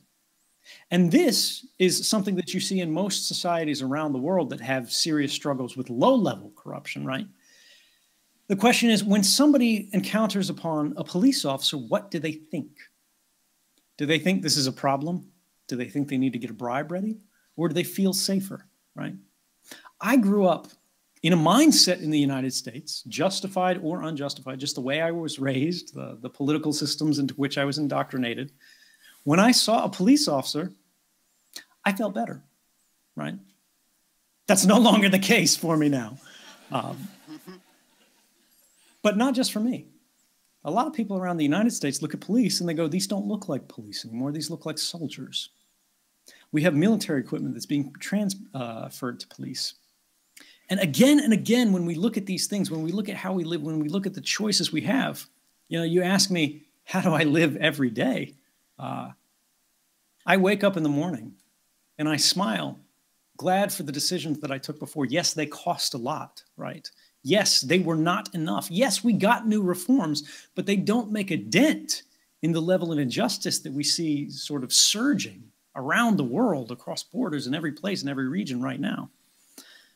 But I have an idea of what I can do next. And I would ask you turn that question around on yourself. I don't mean this as a criticism, I mean this as an opportunity. And think, how are you living your life? When you wake up in the morning, you think about going to work, right? You think about what you've got to do, your obligations to your family, you know, having to go to the grocery store, whatever, what shows are on tonight. Uh, this is normal human life. Nobody looks down on you for this. Nobody should look down on you for this. But think about the opportunities that you have, right? Because there are no heroes. Nobody's going to save you, right? There are only heroic actions. There are only heroic choices. There are only people who, moment by moment, see bad things and recognize maybe I can do something. Maybe I can't fix everything, but maybe I can make progress. Maybe I can make things better. Maybe I am the one that I'm waiting for. And as soon as you start thinking like that, you'll realize that you are.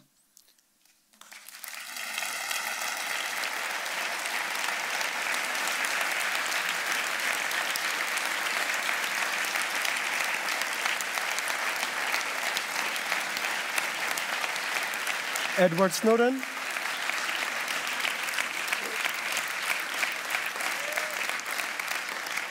Edward Snowden, human rights advocate, activist, and whistleblower, thank you so much for joining us today.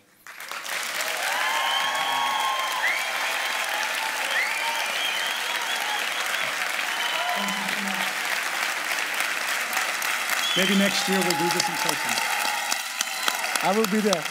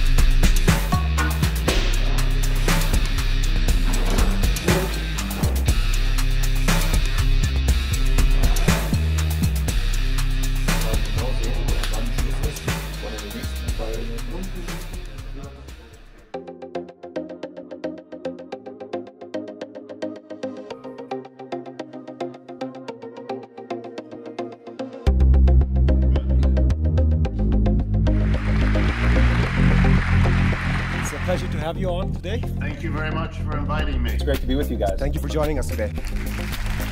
Edward Snowden, human rights advocate, activist, and whistleblower, thank you so much for joining us today.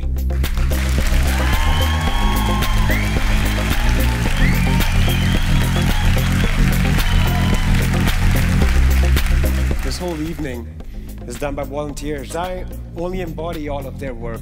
I, I'm just asking questions. It's their work, the camera people, the people putting on the live stream, the people at the gates. Please welcome to the stage all the volunteers.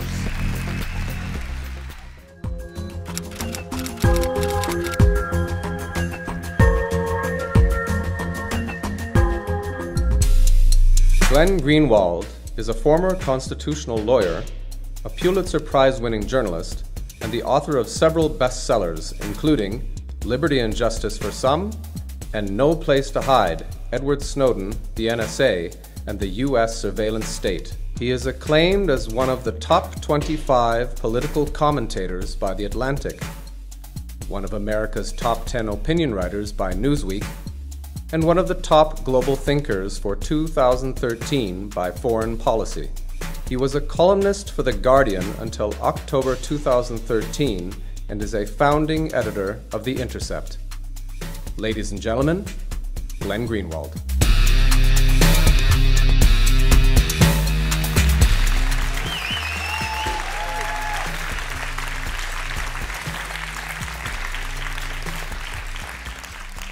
Hi, Glenn. How's it going in Brazil? Um, it's going great. I'm I'm a little bit jealous that I'm not there with you in Munich. It's one of my favorite cities in the world, but um, otherwise I'm I'm doing well. Perfect. I, I tracked you down twice when you were here, and I was able to manage two interviews, but this is the third one. So let's just begin with Donald J. Trump. There's this perception about Trump that he's a madman. He's unorthodox, he's breaking from conventional uh, American politics, and he's not following in many issues the same line as, as his predecessors. So, what is your take? Is Donald Trump breaking from orthodoxy? Is he a continuation or is he a mixed bag? I think it's important to separate the stylistic or rhetorical analysis with regard to that question from the substantive and policy analysis. So, obviously, as a matter of personality, as a matter of rhetoric, and as a matter of style, Trump is something unlike we've seen before in terms of somebody occupying the Oval Office and being the representative of this vast power that the United States continues to wield in the world, the way he speaks, the things he says, his refusal to abide by protocols and conventions. But if you actually look at the policies that he has overseen and implemented, and even the way in which he defends those policies, I think that it's far more a continuation and a byproduct of American political culture than something unrecognizable or aberrational. There's a lot of people who want to pretend that what he's doing is some kind of radical break from the American tradition because they're embarrassed because because his rhetorical newness does sort of take the mask off of the face of what the reality of the United States and the world is and so they want to pretend that this is something all new. And I remember when Trump had General Sisi of Egypt to the White House, the American media decided to pretend that this was something brand new that we had never seen before an American president embracing a tyrant. Um, and of course, American presidents have embraced tyrants. It's been central to American foreign policy for decades. And I think you see that over and over. There's a lot of pretense that what Trump is is new, but the reality is he's far more a continuation than a deviation from American political history. Let's dig deeper into that for a second, uh, Glenn. So, what about the surveillance state? In 2013, you exposed the entire NSA cache that Edward Snowden had leaked. And some of the things were like millions of Germans are being, uh, their data is being collected without their consent. Uh, WikiLeaks also from this cache revealed that our chancellor's handy is being uh, spied on by our so-called allies. And this investigation was dropped last year. So how has the state of mass surveillance been under Donald Trump? And what do you think how Germany has reacted to, it, to this generally up to this point?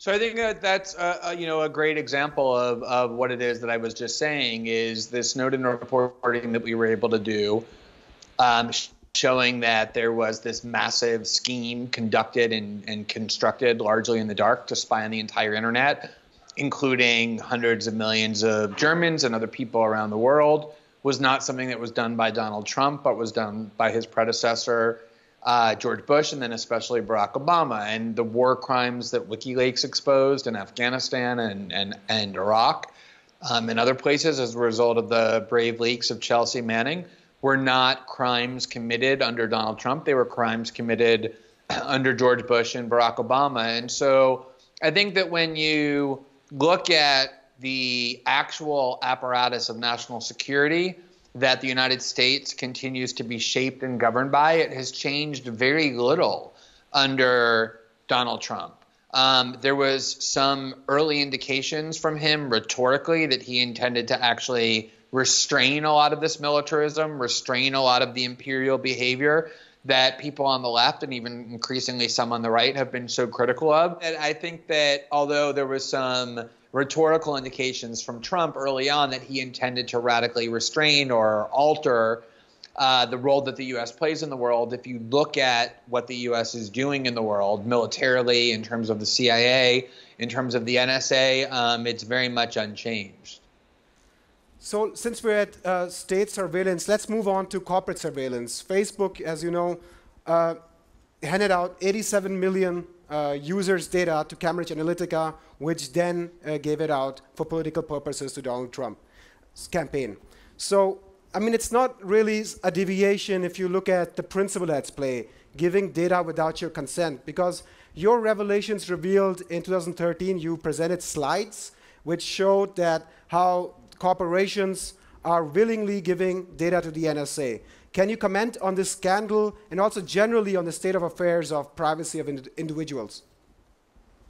Well, I guess I'm, I'm always a little bit surprised whenever there's surprise about the fact that large Silicon Valley companies don't actually care about our privacy.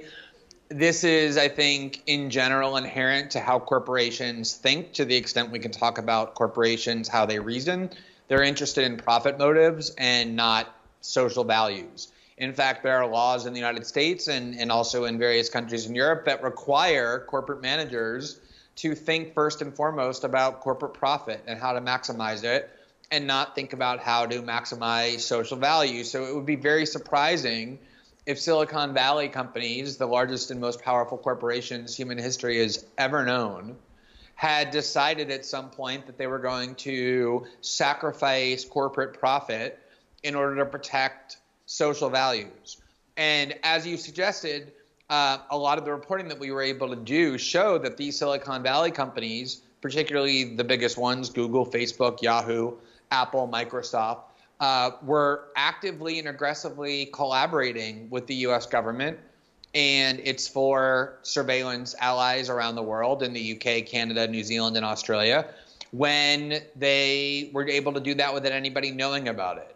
I think what has actually changed as a result of the Snowden reporting is that these companies now do take greater steps in order to protect people's privacy not because Eric Schmidt at Google or Mark Zuckerberg at Facebook suddenly woke up and decided, actually, you know what, we kind of are are are wrong and we should value privacy more. Um, it's because people around the world began to be worried about what it would mean if they were using Facebook and they were using Google. And Facebook executives and Google executives were very worried that social media companies in Germany and Brazil and Korea would be able to tell the next generation of internet users don't use Facebook and Google because they're going to give your data to the government, the US government, use ours instead because we'll protect your privacy. So, because of those commercial pressures, these companies actually have been implementing some meaningful privacy protections. Um, but at the same time, now this is the war that the US government, the UK government, governments around the world are, on the one hand, trying to pressure social media companies to give them as much data as they want. When they don't, they get publicly accused of being haters and abettors of terrorists, um, as the US and UK governments have done with Facebook and Google when they refuse to turn over data. Um, and you see now Facebook starting to do things like weekend encryption for WhatsApp, which caused the founder of WhatsApp um, just recently, this week in fact, to resign from the company and, and leave the board of Facebook. Um, but on the other hand, you still have you know, tens of millions of people around the world. I would say principally the country where this is true the most is in Germany because of the history of digital privacy, but also in lots of other countries, including where I am now in Brazil and the United States, where people are unwilling to use technology companies if they believe that those companies are going to undermine their privacy. And that's really the central war that's taking place right now is the war for public opinion not because these companies care about public opinion in of itself, but because they perceive it as a threat to their profitability uh, if they're perceived as being privacy violators. You recently wrote a piece uh, about Facebook's subordination uh, in terms of uh, the Israeli government as well as the government of the United States in deleting accounts or uh, uh, deleting accounts of people who are on the sanction list as well as suppressing activism. Can you elaborate on that, please? Sure. So I think there is this interesting debate taking place, and it's taking place on the left, um, the global left, about the extent to which we want governments and corporations, uh, Silicon Valley corporations, to control and regulate and censor the political content that is available for us to see. And I think there's always this appeal for people to want to support censorship, which is, well, I believe that if things, if we empower Facebook executives or Twitter officials or government officials to regulate speech under the guise that it's hate speech or fake news, the kinds of opinions that I dislike and that I think are threatening or that I think are misleading are going to be suppressed, and therefore society will be better. And that's an appealing way to think, but I think it's an extremely dangerous and usually misguided way to think because usually the people who exercise power and who are going to be able to control what we see and we don't see aren't people who think the way that you think, if you're on the left, for example. They're not going to be looking to censor um, Israelis who are cheering for genocide or apartheid in Gaza. And they're not looking for people in the United States who are calling for Iran to be bombed, as, as Twitter is offering every single day, or for minorities to be attacked. They're going to cater to the powerful. And the powerful in the case of the Middle East, for example, is not the Palestinians, but Israel. And so Facebook officials have been meeting with the Israelis. Uh, whoever the Israeli government tells Facebook is an inciter of violence and terrorism gets their account suspended, their account deleted. That has included scholars, it's included journalists uh, in the West Bank. Um, that Facebook is essentially being subservient to the dictates of the Israeli government. Um, we've seen the same thing with the United States. If you are a group that the United States decides to call a terrorist organization, which in the past has included things like the African National Congress and Nelson Mandela, um, the then Facebook executives and Twitter executives will censor political content. Um, but if you're somebody who wants to cheer Donald Trump or call for additional violence in the Middle East, you won't be censored. And so I think we need to be extremely careful um, if we believe in internet freedom about not being tricked into supporting censorship based on this lovely idea that the views that we think are violent and we think are dangerous are going to be suppressed because in almost every case the opposite is going to happen. It's the views that you like the views that you support um, that are going to end up being suppressed. In the case of facebook censoring palestinians from the internet at the behest of the israeli government is a perfect illustration of that danger. Since we're at the middle east let's talk about syria there's so many conflicting reports chemical attacks by Jaish al Islam, uh, radical uh, extremist Islamic group. Um, I don't call it Islam, but let's just put it that way since the media does right now. And also, then there's Assad attacking, and then what do you think should be the conclusion here on a policy framework? Should the Western government intervene forcefully in these cases? So I think it's very difficult to know exactly what's going on in Syria, in part because it's always difficult to know exactly what's taking place in a very active war zone, um, especially when each side has foreign proxies that are supporting it and that are behind it, as is the case in in the war in Syria. Um, obviously, any decent human being looks at what has happened to Syria over the past six years with horror and disgust, and it's one of the world's greatest humanitarian tragedies. At the same time, um, the fact that something is taking place that is heinous and awful doesn't mean that any solution that's proposed will actually make it better. Oftentimes, the solutions that are proposed make things worse. And so I don't pretend to have the answers for how to resolve the conflict in Syria, but what I do know is that every time Western governments proclaim that they're going to militarily intervene in other countries in the name of humanitarianism, exactly the opposite results happen. They make things worse in all instances, or virtually all instances, from a humanitarian perspective. And the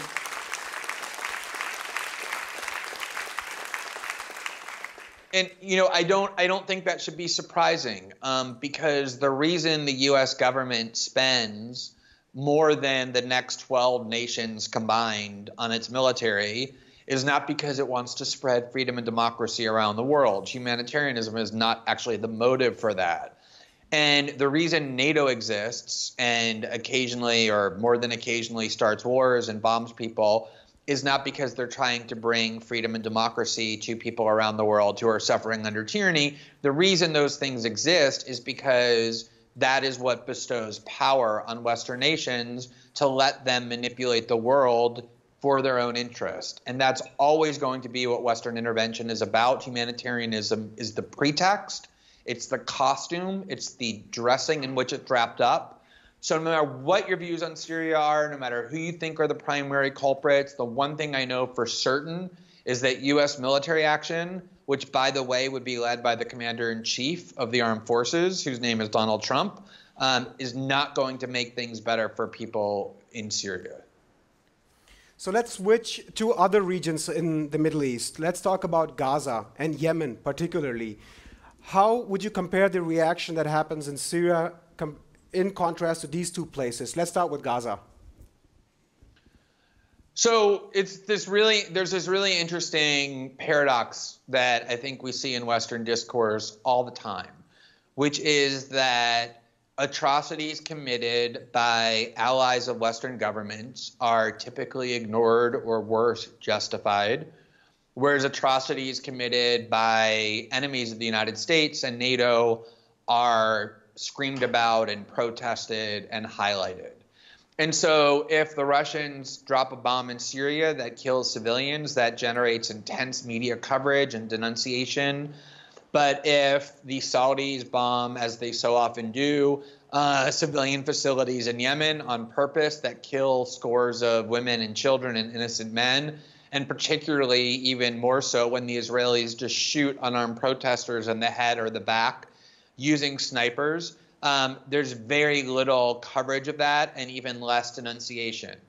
And you know, you can actually, I guess, make the argument that if you're a citizen of a Western country, you ought to be condemning both of those equally. You ought to be condemning when the Russians kill people equally to when the United States and its allies do. But to me, actually, I think there's a much more compelling moral principle, which is that we ought to be most concerned about the evil committed not by governments thousands of miles away from us over which we exercise no influence, for which we have no responsibility, and which we cannot change, but our own governments who are engaging in these atrocities in our name.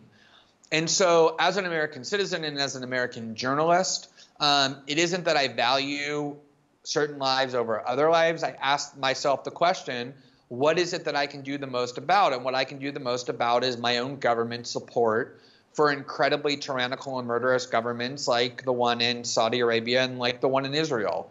And we have utterly reversed that um, because that's what propaganda is. Propaganda is about convincing a citizenry that your side is the moral one and the other side is the immoral one. And the way you accomplish that is by ignoring the atrocities committed by your own side. Um, what Saudi Arabia is doing in Yemen, I think, is probably the worst humanitarian atrocity.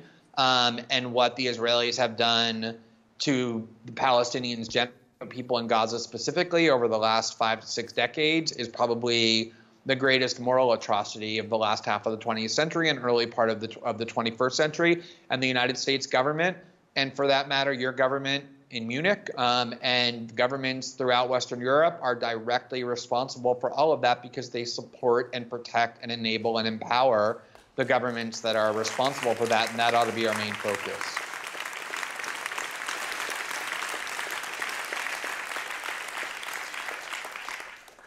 I want to talk about Russia and specifically about Russiagate, and you've done a great deal of work uh, exposing the debacles of corporate media and their false reporting about Russian interference in the election. There was a great amount of concern in Germany as well as France about Russian interference. It didn't turn out to be true. The director of the Digital Society Germany in Germany said nothing happened. Uh, in France, it was the same case by the head of the cybersecurity.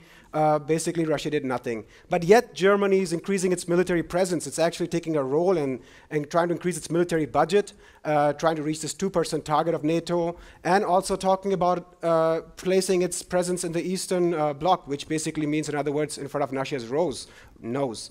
Uh, so, could you talk about Russiagate and the implications it has on democracy and, our, and our society? So it's hard for me to express to people who don't live in the United States and who don't follow United States politic, political debate on a daily basis just how utterly insane and deranged Americans have become about Russia.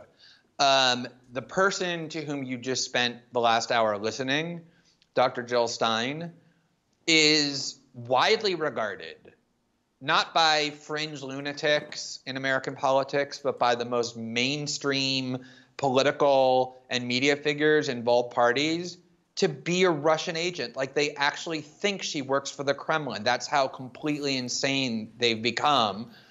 And if you ask them for evidence for that, they'll say that she once went to a dinner in Moscow that Putin attended for about six minutes, um, along with dozens of other uh, international peace activists around the world. Um, this kind of guilt by association and this kind of hysteria and conspiracy that drove um, the entire Cold War when it came to American propaganda about Moscow has reared its head, but in a much, I think, more toxic and irrational way. Because there was actually a communist a, a, a, communist movement in the latter half of the 20th century that was the opposite of what the American philosophy was, and they were two huge major countries opposing one another around the world. Russia is nothing like that. Um, Russia is the eighth largest economy in the world. It's actually just behind Italy. Um, it has very few global ambitions um, beyond its immediate neighborhood. Um, to, to try and convince people that Russia poses some sort of grave threat to the West to the point where we need to build our military budgets up is insanity, but it's, exa- it's exactly what Western political discourse has become. Um, you know, if you look at the insanity of it in Germany, I think it becomes particularly vivid. I mean, there were two of the most horrific wars fought in the 20th century um, because of tensions between Germany and Russia. Um, the Cold War came close to virtually annihilating the species because of tensions between Moscow and Washington, countries that continue to have thousands of nuclear tipped missiles pointed at one another's cities using very archaic Cold War triggers, trigger systems um, that can easily go off through misperception and miscommunication. So the idea of playing games with tensions between Russia and Western countries, um, especially given how NATO has virtually encircled Russia um, by moving all the way up to its eastern borders, exactly how NATO promised not to do when Gorbachev agreed to allow for the reunification of Germany. Um, very provocative behavior on the part of the West continually. Um, it makes it extraordinary to watch American political discourse become obsessed with ratcheting up tensions. It's one of the most dangerous things I've ever seen, and it's also one of the most despicable because the real reason for it, the real reason why this is happening, is because Democrats in Washington still cannot accept responsibility for the fact that they lost to a person who basically is a game show host. They don't want to do any kind of introspection about why they've collapsed as a national party. Um, that's true of, of parties in, in Western Europe as well. It's always easiest to blame a foreign villain, to try and create a foreign monster that you get your population to focus on so that they forget about the problems and corruptions of your own country. And in the best of cases, it's a deceitful thing to do because it buries the real problems that we have. But when you're playing games with nuclear armed powers that have a history of starting world wars and that came close to dropping nuclear bombs on one another. It's one of the most morally reprehensible things I've seen in my 12 years of covering politics as a journalist.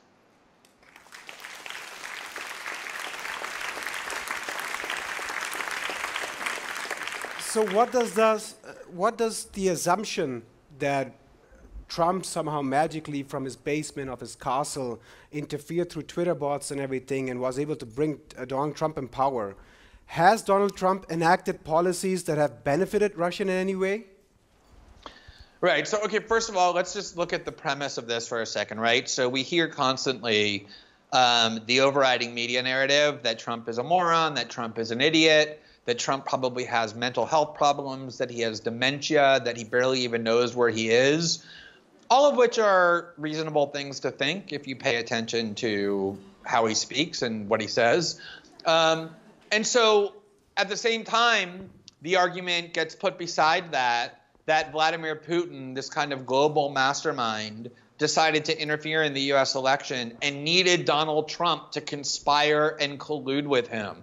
I mean, if the Russians were going to interfere in the 2016 election, why would they need Donald Trump um, to help them? What possible services could he provide? What kind of aid and, and assistance could he do? Was he masterminding the hacking? Was he um, plotting how to distribute the information? The whole theory kind of collapses onto itself when you think about what it is that they're typically saying. But even if you look at what Trump has done since he's been in office, right? So the argument originally was that Trump was sort of captive to the Kremlin in part out of gratitude for the fact that they helped him win, but also because the, the, the, the crazier people in American politics were saying that they actually have blackmail material over him. They have a, a videotape of him engaging in sexually incriminating acts and all kinds of fantasies that they got from television and movies and novels about the Cold War where the Russians blackmail people. And that Trump was essentially a puppet, literally, of Putin, that he pulls the strings and, and Trump does what he wants. Since Trump has been in office, um, he did something that Obama refused to do in Syria, which is bomb the Russians' client state um, in Syria. He has also done something much more important to the Russians, which Obama refused to do, which is arm anti Russian elements in Ukraine with lethal weapons, something that Putin finds generally genuinely threatening and genuinely provocative.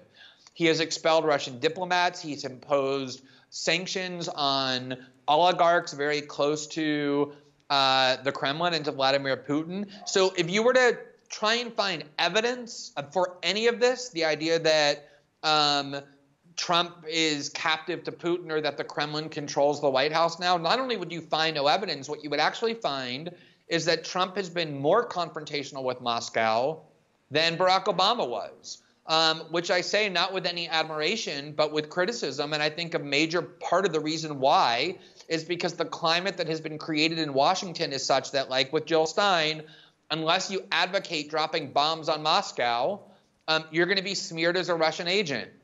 And, you know, I always say this, and I guess there's a part of it that's exaggerated for dramatic effect, but I actually do genuinely believe it.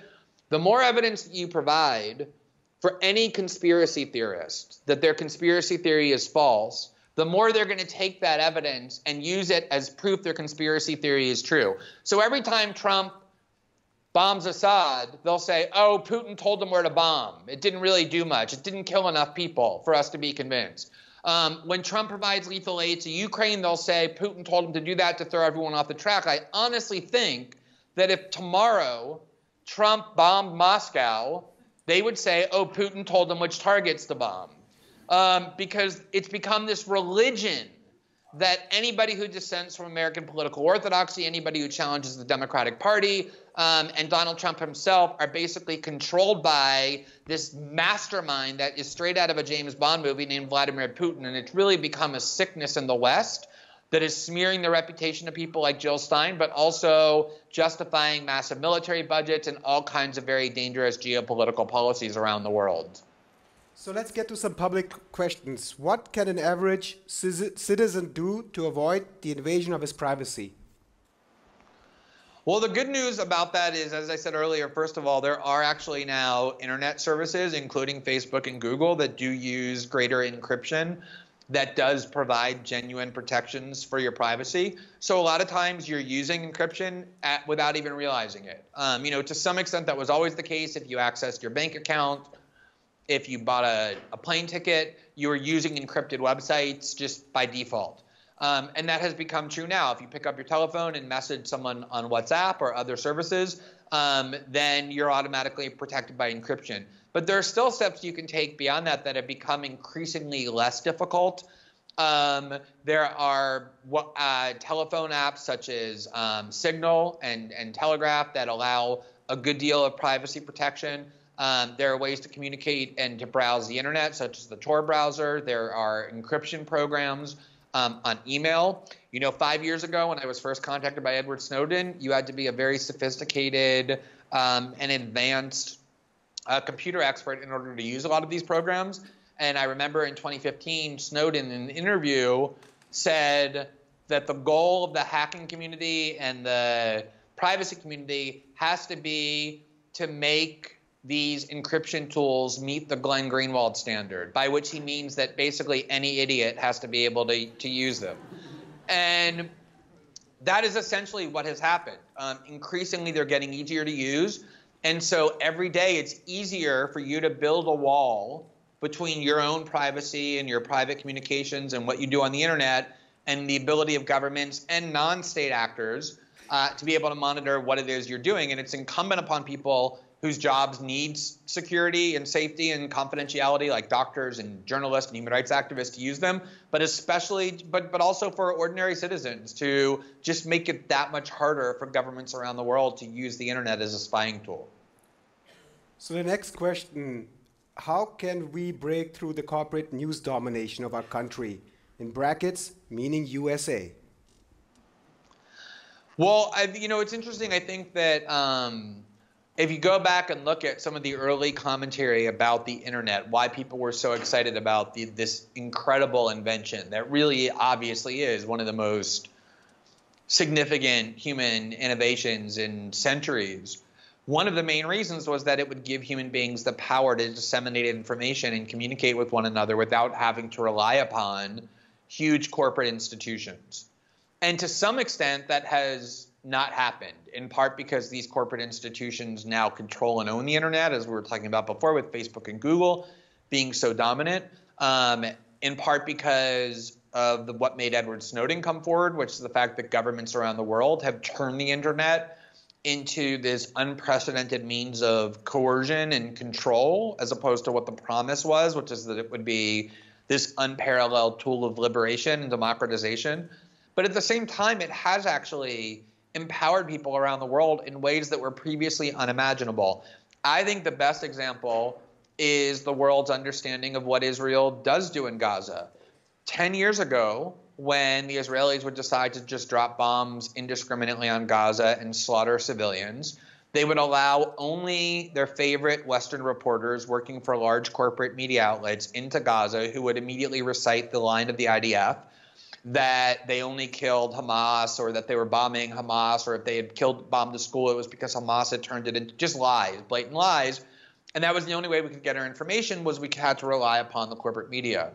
Now, even a population purposely deprived, extremely poor, like Gazans, 1.8 million Gazans, have cell phones and internet upload links. And so when the Israelis randomly shoot um, protesters who are unarmed or when they bomb schools, uh, we see the footage of the truth. And it has changed how people think of the relationship between the Israelis and the Palestinians. It's much harder for Israel to lie to the world because they can no longer control what we're seeing about their actions the way they could just even 10 or 15 years ago as a result of the internet. And that's why, to me, um, fighting to keep the internet free not asking corporations and governments to censor and control it remains the central fight um, because it does remain one of the most promising tools in human history for us to be able to organize together, to disseminate information, and to undermine and subvert the most powerful institutions. And the last thing we ought to be doing is asking those institutions to be increasing their control over the internet.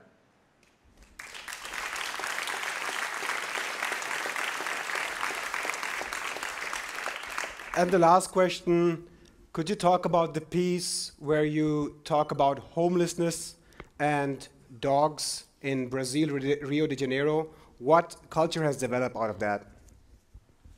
Sure. I mean, this is a, a personal project for myself and, and my husband. Um, we've been rescuing dogs for uh, many years, and I think this is uh, we have 24 of our own. I think this is the first speech I've ever given from my house where they weren't barking. People are going to complain about that because they love my my dog barking.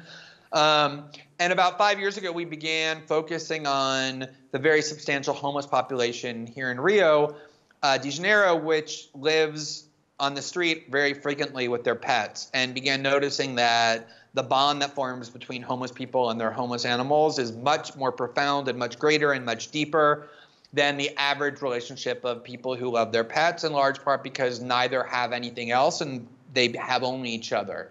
And there's now amazing social science research on this, um, the proving that this is true. And so we recently decided we wanted to tap into that energy by building, developing a shelter that takes care of abandoned animals but at the same time only employs homeless people who have lived on the streets um, and shown this love for animals. And so It's a project that's simultaneously caring for abandoned animals, but at the same time employing homeless people, helping them open bank accounts, um, teaching them how to rent an apartment and then get off the street and then find permanent employment. And it's a model that we hope to use around the world because it's helping two populations that typically are neglected, abandoned, abandoned animals, and homeless people. And you know, I think it's very important that in your politics um, that you embrace important principles of humanitarianism and peace. But at the same time, I think it's very important that those not stay abstract, that you practice those principles in your life as well. Um, and the more we just find ways to spread those values just in small ways, um, the more the world will improve. And, you know, I usually get asked at these kinds of uh, functions, like, what is it that we can do to change these things? And for me, the answer is always focus first on your own individual behavior and ask what you can be doing more of to make the world a better place.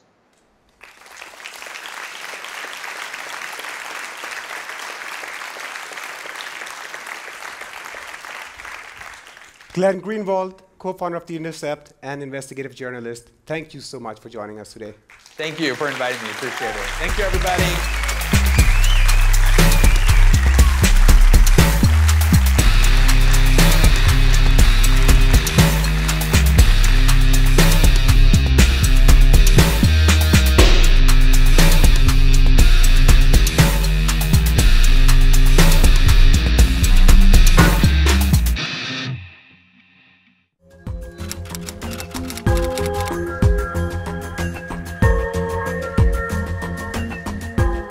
To The Source, a program dedicated to providing a platform to whistleblowers, investigative journalists, and policy experts. My name is Zain Raza. Today we're joined by Glenn Greenwald, an investigative journalist and the co-founder of The Intercept. In 2013, Glenn reported and published the highly classified NSA leaks exposed by whistleblower Edward Snowden. Glenn Greenwald, thanks for joining us again. Thank you for having me.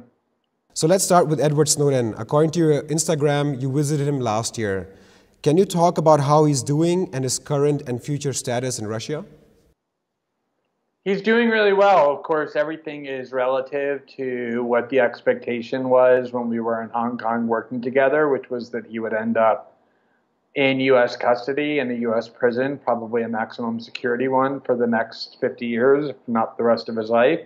Given that instead he's free in Russia to travel around, most importantly, to participate and the debate that he helped to provoke. He lives there with his longtime girlfriend. His family can visit.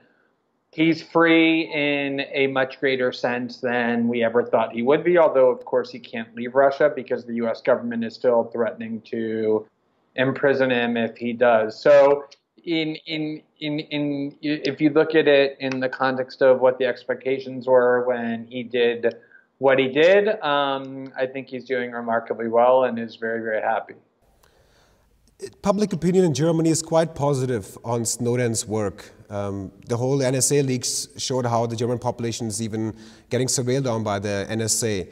However, the German government has refused up until this day. We, acTVism Munich, uh, did an interview with him, but the German government has not done the same. So, how do you assess the um, reaction of the German government in, in terms of uh, how they treated Snowden? I find it really despicable, to be honest. There are a lot of governments around the world that benefited immensely from the bravery of Edward Snowden, not just there in Germany, but here in Brazil, where I live, for example. There were incredible numbers of revelations showing how the US and its partners, including in Canada and the UK, were spying on the industry of Brazil, the government of Brazil, the population of Brazil, just like in Germany, just like in lots of other Western European countries.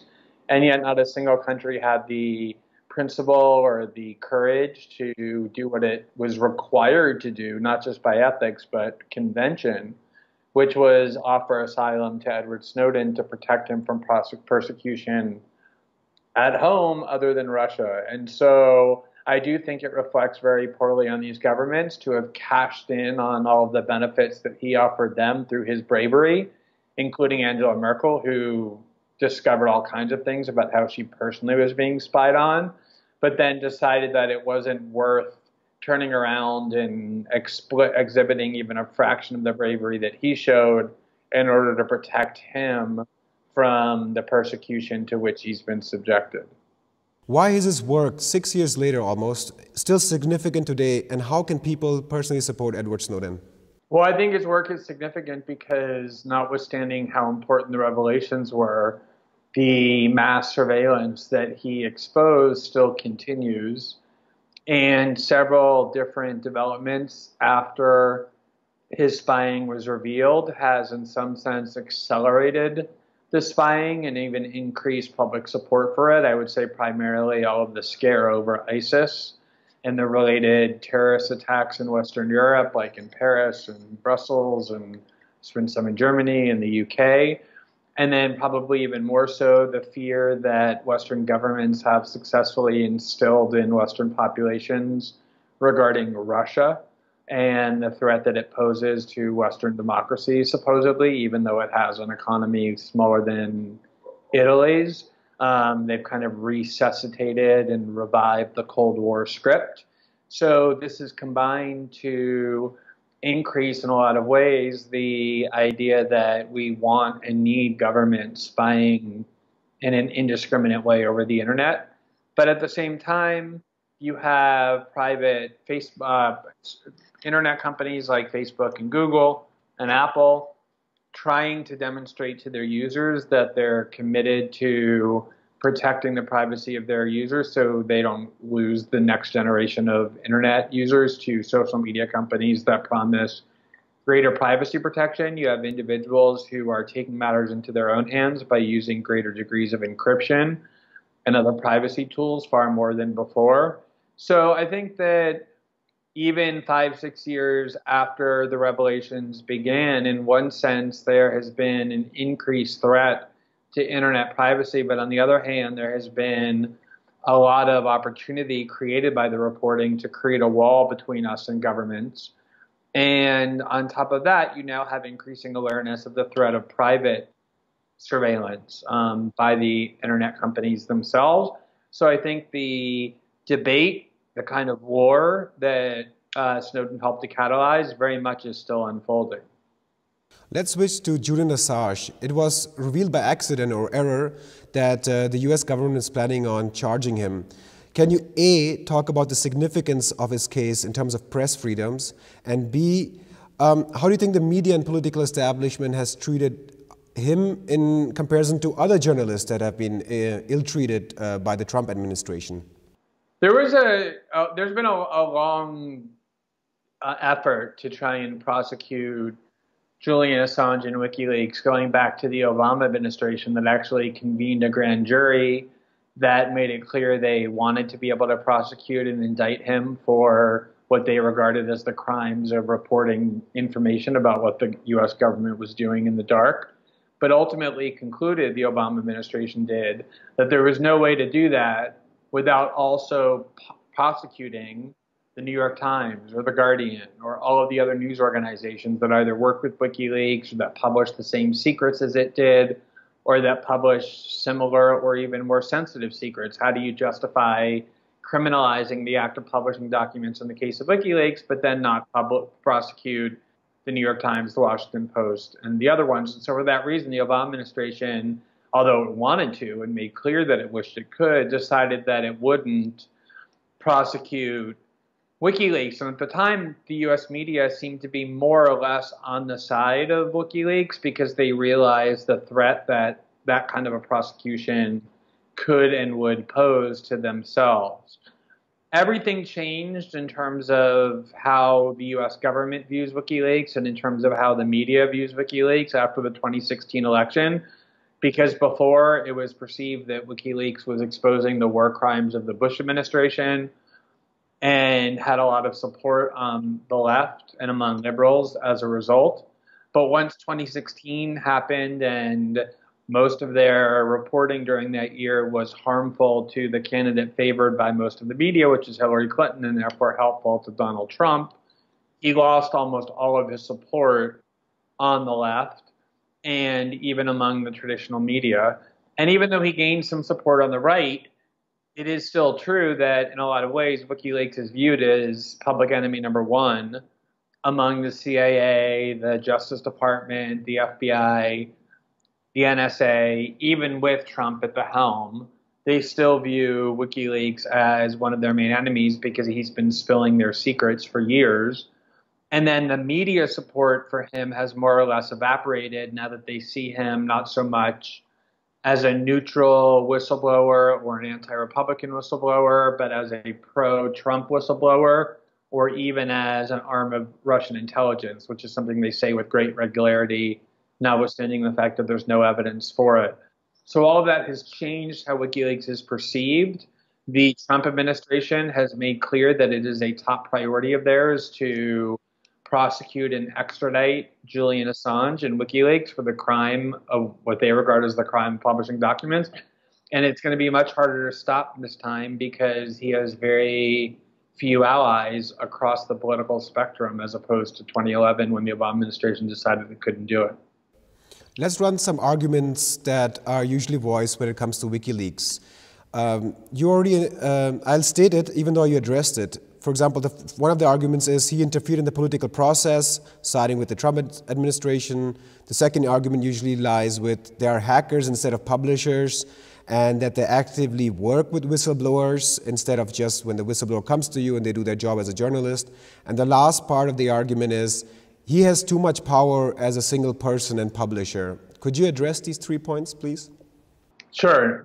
Half of them are lies and half of them make no sense. So let's start with the first one, which is the idea that he interferes in the political process. What journalist who covers an election doesn't interfere in the political process? Most American journalists were openly in favor of Hillary Clinton, constantly called Donald Trump a liar and a fascist every day that they opened their mouths, which was fully their right to do the fact that they worked with the Clinton campaign, that they constantly dug up dirt on Trump, um, that they openly wanted the Democrats to win, doesn't, in my mind, make them any less of journalists. If someone were to prosecute them for publishing documents, I wouldn't stand up and say, oh, well, they were clearly in favor of one side or the other and therefore have lost their status as journalists. Journalists aren't required to remove themselves from the world or pretend to have no opinions in order to be journalists. Journalists have traditionally crusaded in favor of things that they thought were better for the world or, or against injustice. Um, the New York Times published Donald Trump's tax returns, even though they had no idea who sent it to them, and even though sending tax returns and publishing tax returns without someone's authorization is a crime. They clearly did it to harm the Trump candidacy, but it was clearly an act of journalism, even though they were interfering in the election journalists interfere in elections all the time. It's called reporting. And the idea that, well, if you interfere in the election on the side of one candidate or another, you lose your status as a journalist is going to send a lot of journalists to prison. So it's a very dangerous theory, and it's one that actually makes no sense. The idea that WikiLeaks does more than merely work with whistleblowers, they actually collaborate or conspire with them to steal documents is something for which no evidence has ever been presented. When I said earlier that the Obama administration wanted to prosecute WikiLeaks, that was exactly what they were hoping to be able to prove in order to distinguish WikiLeaks from, say, The Guardian or The New York Times. Namely, they were looking for evidence that WikiLeaks didn't just receive documents from Chelsea Manning, but actually collaborated with her prior to or during the hack in order to say that they were collaborators in the crime. And I know there were some efforts on the part of media figures to try and depict us, the reporters who worked with Edward Snowden, as being his collaborators in the same way, but no evidence was found of that. So you can accuse WikiLeaks all you want of collaborating with hackers or call them hackers, but until you have evidence that actually demonstrates that, all you're doing is fabricating and lying. Um, and so it's not a very impressive theory to me in the absence of evidence, the only evidence we have is that WikiLeaks does what every major media outlet does, which is receive information from sources and then reports on and publishes it. Um, I think the main attack on WikiLeaks um, has been this idea that they have too much power, and along with that, they work with the Russian government. But again, I mean, for decades, the New York Times was the place where every major national security leak ended up. Um, when Daniel Ellsberg gave the Pentagon Papers to the New York Times, that was the argument the Nixon administration used to try and get the Supreme Court to censor them was why should the editor of the New York Times have so much power that he gets to decide which government secrets are published and which ones remain concealed? And the answer is, is that that's what a free press does. You get information that powerful factions want hidden, and you then make choices about what's in the public interest to publish and what isn't. That also is called journalism. So we're going to accept the theory that Julian Assange has too much power because he gets to make decisions about what's published and what isn't. Then again, you're stripping away First Amendment or free press protections from every working investigative journalist, and I don't think that's something any of us want to do. You mentioned Russian interference. Let's examine this topic a bit further. The German mainstream media is quite sold on the fact that the Russians interfere in the US elections, and they base it on two things the intelligence assessment report of 2017 and uh, the investigation that, which is being headed by former FBI Director Robert Mueller. But I want to specifically focus on um, the findings of the investigation that Robert Mueller is conducting. Could you talk about this investigation and ha has it proven that Russia? Uh, colluded with the Trump administration? Well, so the Mueller investigation is about a year and a half old, a little bit more than that. So far, not a single indictment of an American citizen for conspiring with Russians in connection with the 2016 election has resulted from that investigation. So the question that led to the Mueller investigation, which was did Trump officials or other Americans criminally conspire with the Russians to interfere in the 2016 election. We haven't, we don't know yet what the final answer of the Mueller probe is because it's not over. But what we do know is that no indictments have alleged, let alone proven, that any American, any Trump official actually did any of that. It's alleged that Russian officials interfered in the election through hacking and through social media activity. It's alleged that Americans committed crimes unrelated to the 2016 election, like Paul Manafort involved in money laundering and um, and the like, or people lying to investigators after the election was over. But on the question that you asked me about, which is the question that was the reason there is a special counsel in the first place, namely, did anybody in the Trump campaign actively conspire with the Russians, the here in the 2016 election.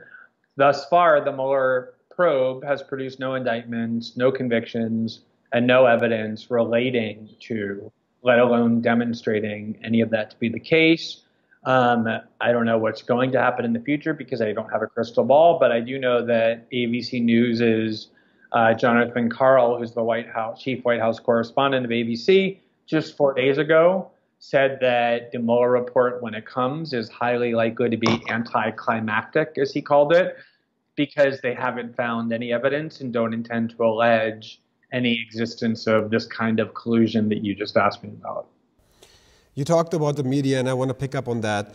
Um, you frequently write uh, stories about how the US media uh, failed to uh, back their stories up with evidence, even though they make huge claims about Russian interference in the initial phase. These stories usually lack evidence, don't follow journalistic standards, and many cases they have to be redacted. This information, however, does not trickle down to the German media, and they always uh, cite the initial claims made by something like Washington Post or CNN, MSNBC. So, could you list one of the, mo the, the most influential stories that fell apart and also talk about why? Well, it's funny that you asked that because we're talking 36 hours after one of the biggest stories completely blew up in the face of the US media, which was BuzzFeed on Thursday night reported a blockbuster bombshell that Robert Mueller has obtained emails and testimony proving that Donald Trump directed his longtime lawyer, Michael Cohen, to lie to Congress about the existence of uh, a construction project in Moscow to build a Trump hotel or a Trump tower. This was treated as one of the biggest stories of the entire saga, which it would have been had it been true, because it would have meant that Donald Trump actively encouraged lying to Congress and the concealment of crucial information. Unfortunately, for all of the people who touted it, and particularly for the people who reported it, Robert Mueller himself, who has been notoriously silent when it comes to media reports. He's barely ever uttered a peep, which is why he kind of gets treated as having godlike powers. He's sort of like the biblical God who just speaks once every 2,000 years from the mount. And so you just think that he has these kind of, um, you know, this, this power of impotence, uh, of omnipotence, since he barely ever speaks. But in this case, he came down from his mount to speak and said that actually the BuzzFeed story was false. So he, Robert Mueller himself, said that the BuzzFeed story, the crucial parts of it, were inaccurate in his words. And so after spending 36 hours hysterically claiming that this was the end of the Trump presidency, that he was likely to be impeached, that this is proof that he obstructed justice, the whole story fell apart. And this happened over and over and over and over again. It's funny because I'm working on and probably will publish later today, if not tomorrow, what I think are the top 10 most humiliating media failures in the Trump Russia story. And the hardest job that I have in writing this is there are so many excellent candidates that it's really hard to pick the 10 most humiliating ones. But, you know, they've done things like they said the Washington Post said that Russia invaded the US electric grid and had the power to shut off electricity to people in winter. And the whole story turned out to be completely false. Um, six months ago, uh, CNN reported that they got an email proving that Donald Trump was offered advanced access to the WikiLeaks archive of emails before it was actually published. And for a full day, this was proof that WikiLeaks was in, in bed with the Trump campaign. And then they had to sheepishly admit that their sources had misread the date on the email. And in fact, the email was sent after the entire archive was made public. It was just some random person of the pu- from the public telling Donald Trump Jr. to go look at what everybody else had already seen, not special advanced access, as CNN had claimed. Um, there have been instances where CNN had to fire its own reporters for claiming that a hot top Trump aide had an involvement with a Russian investment bank under investigation that, in fact, he had no involvement with whatsoever maybe my personal favorite story is about four months ago. There was this mystery in Cuba where a variety of U.S. diplomats, what they call U.S. diplomats, but who are in fact, of course, spies stationed in Havana, were suffering from headaches and other um, psychological conditions that everybody claimed was due to a very strange sonic noise that was heard outside of the embassy that they speculated was an advanced sonic weapon using microwaves. And uh, MSNBC, NBC went on the air and said that they've been told for certain that the pre- people behind this sonic attack that was so sophisticated that the Pentagon couldn't even understand the weapons that were used were the Russians. But then just about a week ago, it turned out that scientists analyzed the sounds that had been recorded that were the mysterious, high level, super duper sophisticated sonic weapons and match them to the noises that are emitted by a well known Caribbean cricket during mating season. So, over and over and over again, it's the kind of reporting that basically led to the American public believing that Saddam Hussein had nuclear weapons, that he was in an alliance with Al Qaeda, and even that he participated in the planning of the 9 11 attacks. And over and over and over, these stories have fallen apart because they are published with no evidence, simply because intelligence officials who are trained to lie, who are born to lie, tell these media officials to go say it, and they obediently go and say it. And then it reverberates all around the world. And as you say, I watched this happen in Brazil as well. The initial fake reports get massive amounts of coverage. And then the retractions, although they're humiliating for the US journalists and the US media outlets, get almost no attention anywhere else in the world. In fact, if you look at the people who tweet these these fake stories, they get 30 to 40,000 retweets, they get double the Twitter following count as a result. And then when in the cases when they post the retraction, a lot of times they don't. Maybe the retraction gets 50 or 100 retweets. How does the media react to it? And uh, also, what can the public do to hold the media accountable when they have such shortcomings and they perhaps do not uh, own up to their shortcomings? It's a really interesting dynamic because President Trump has made as one of his main themes attacks on the U.S. media. He re- frequently refers to them as fake news and, and the lying media and the like. And U.S. media outlets are very, very adept at acting with extreme levels of melodramatic outrage whenever they're called fake news. They declare these insults to be a grave enemy, uh, threat to democracy. They have a very kind of well rehearsed script that they read from whenever they get insulted. So they spend a lot of time expressing indignation and anger and rage and offense and insult whenever they're accused of, of spreading fake news. But they spend almost no time, unfortunately, asking themselves why those attacks resonate, why faith in media institutions have collapsed, why Donald Trump thinks it's a good strategy to turn the media into his enemy. And the reason is, is you've gone through your the United States is a country that went through the 2002, 2003 lies over not just the Iraq War, but torture and rendition in Guantanamo.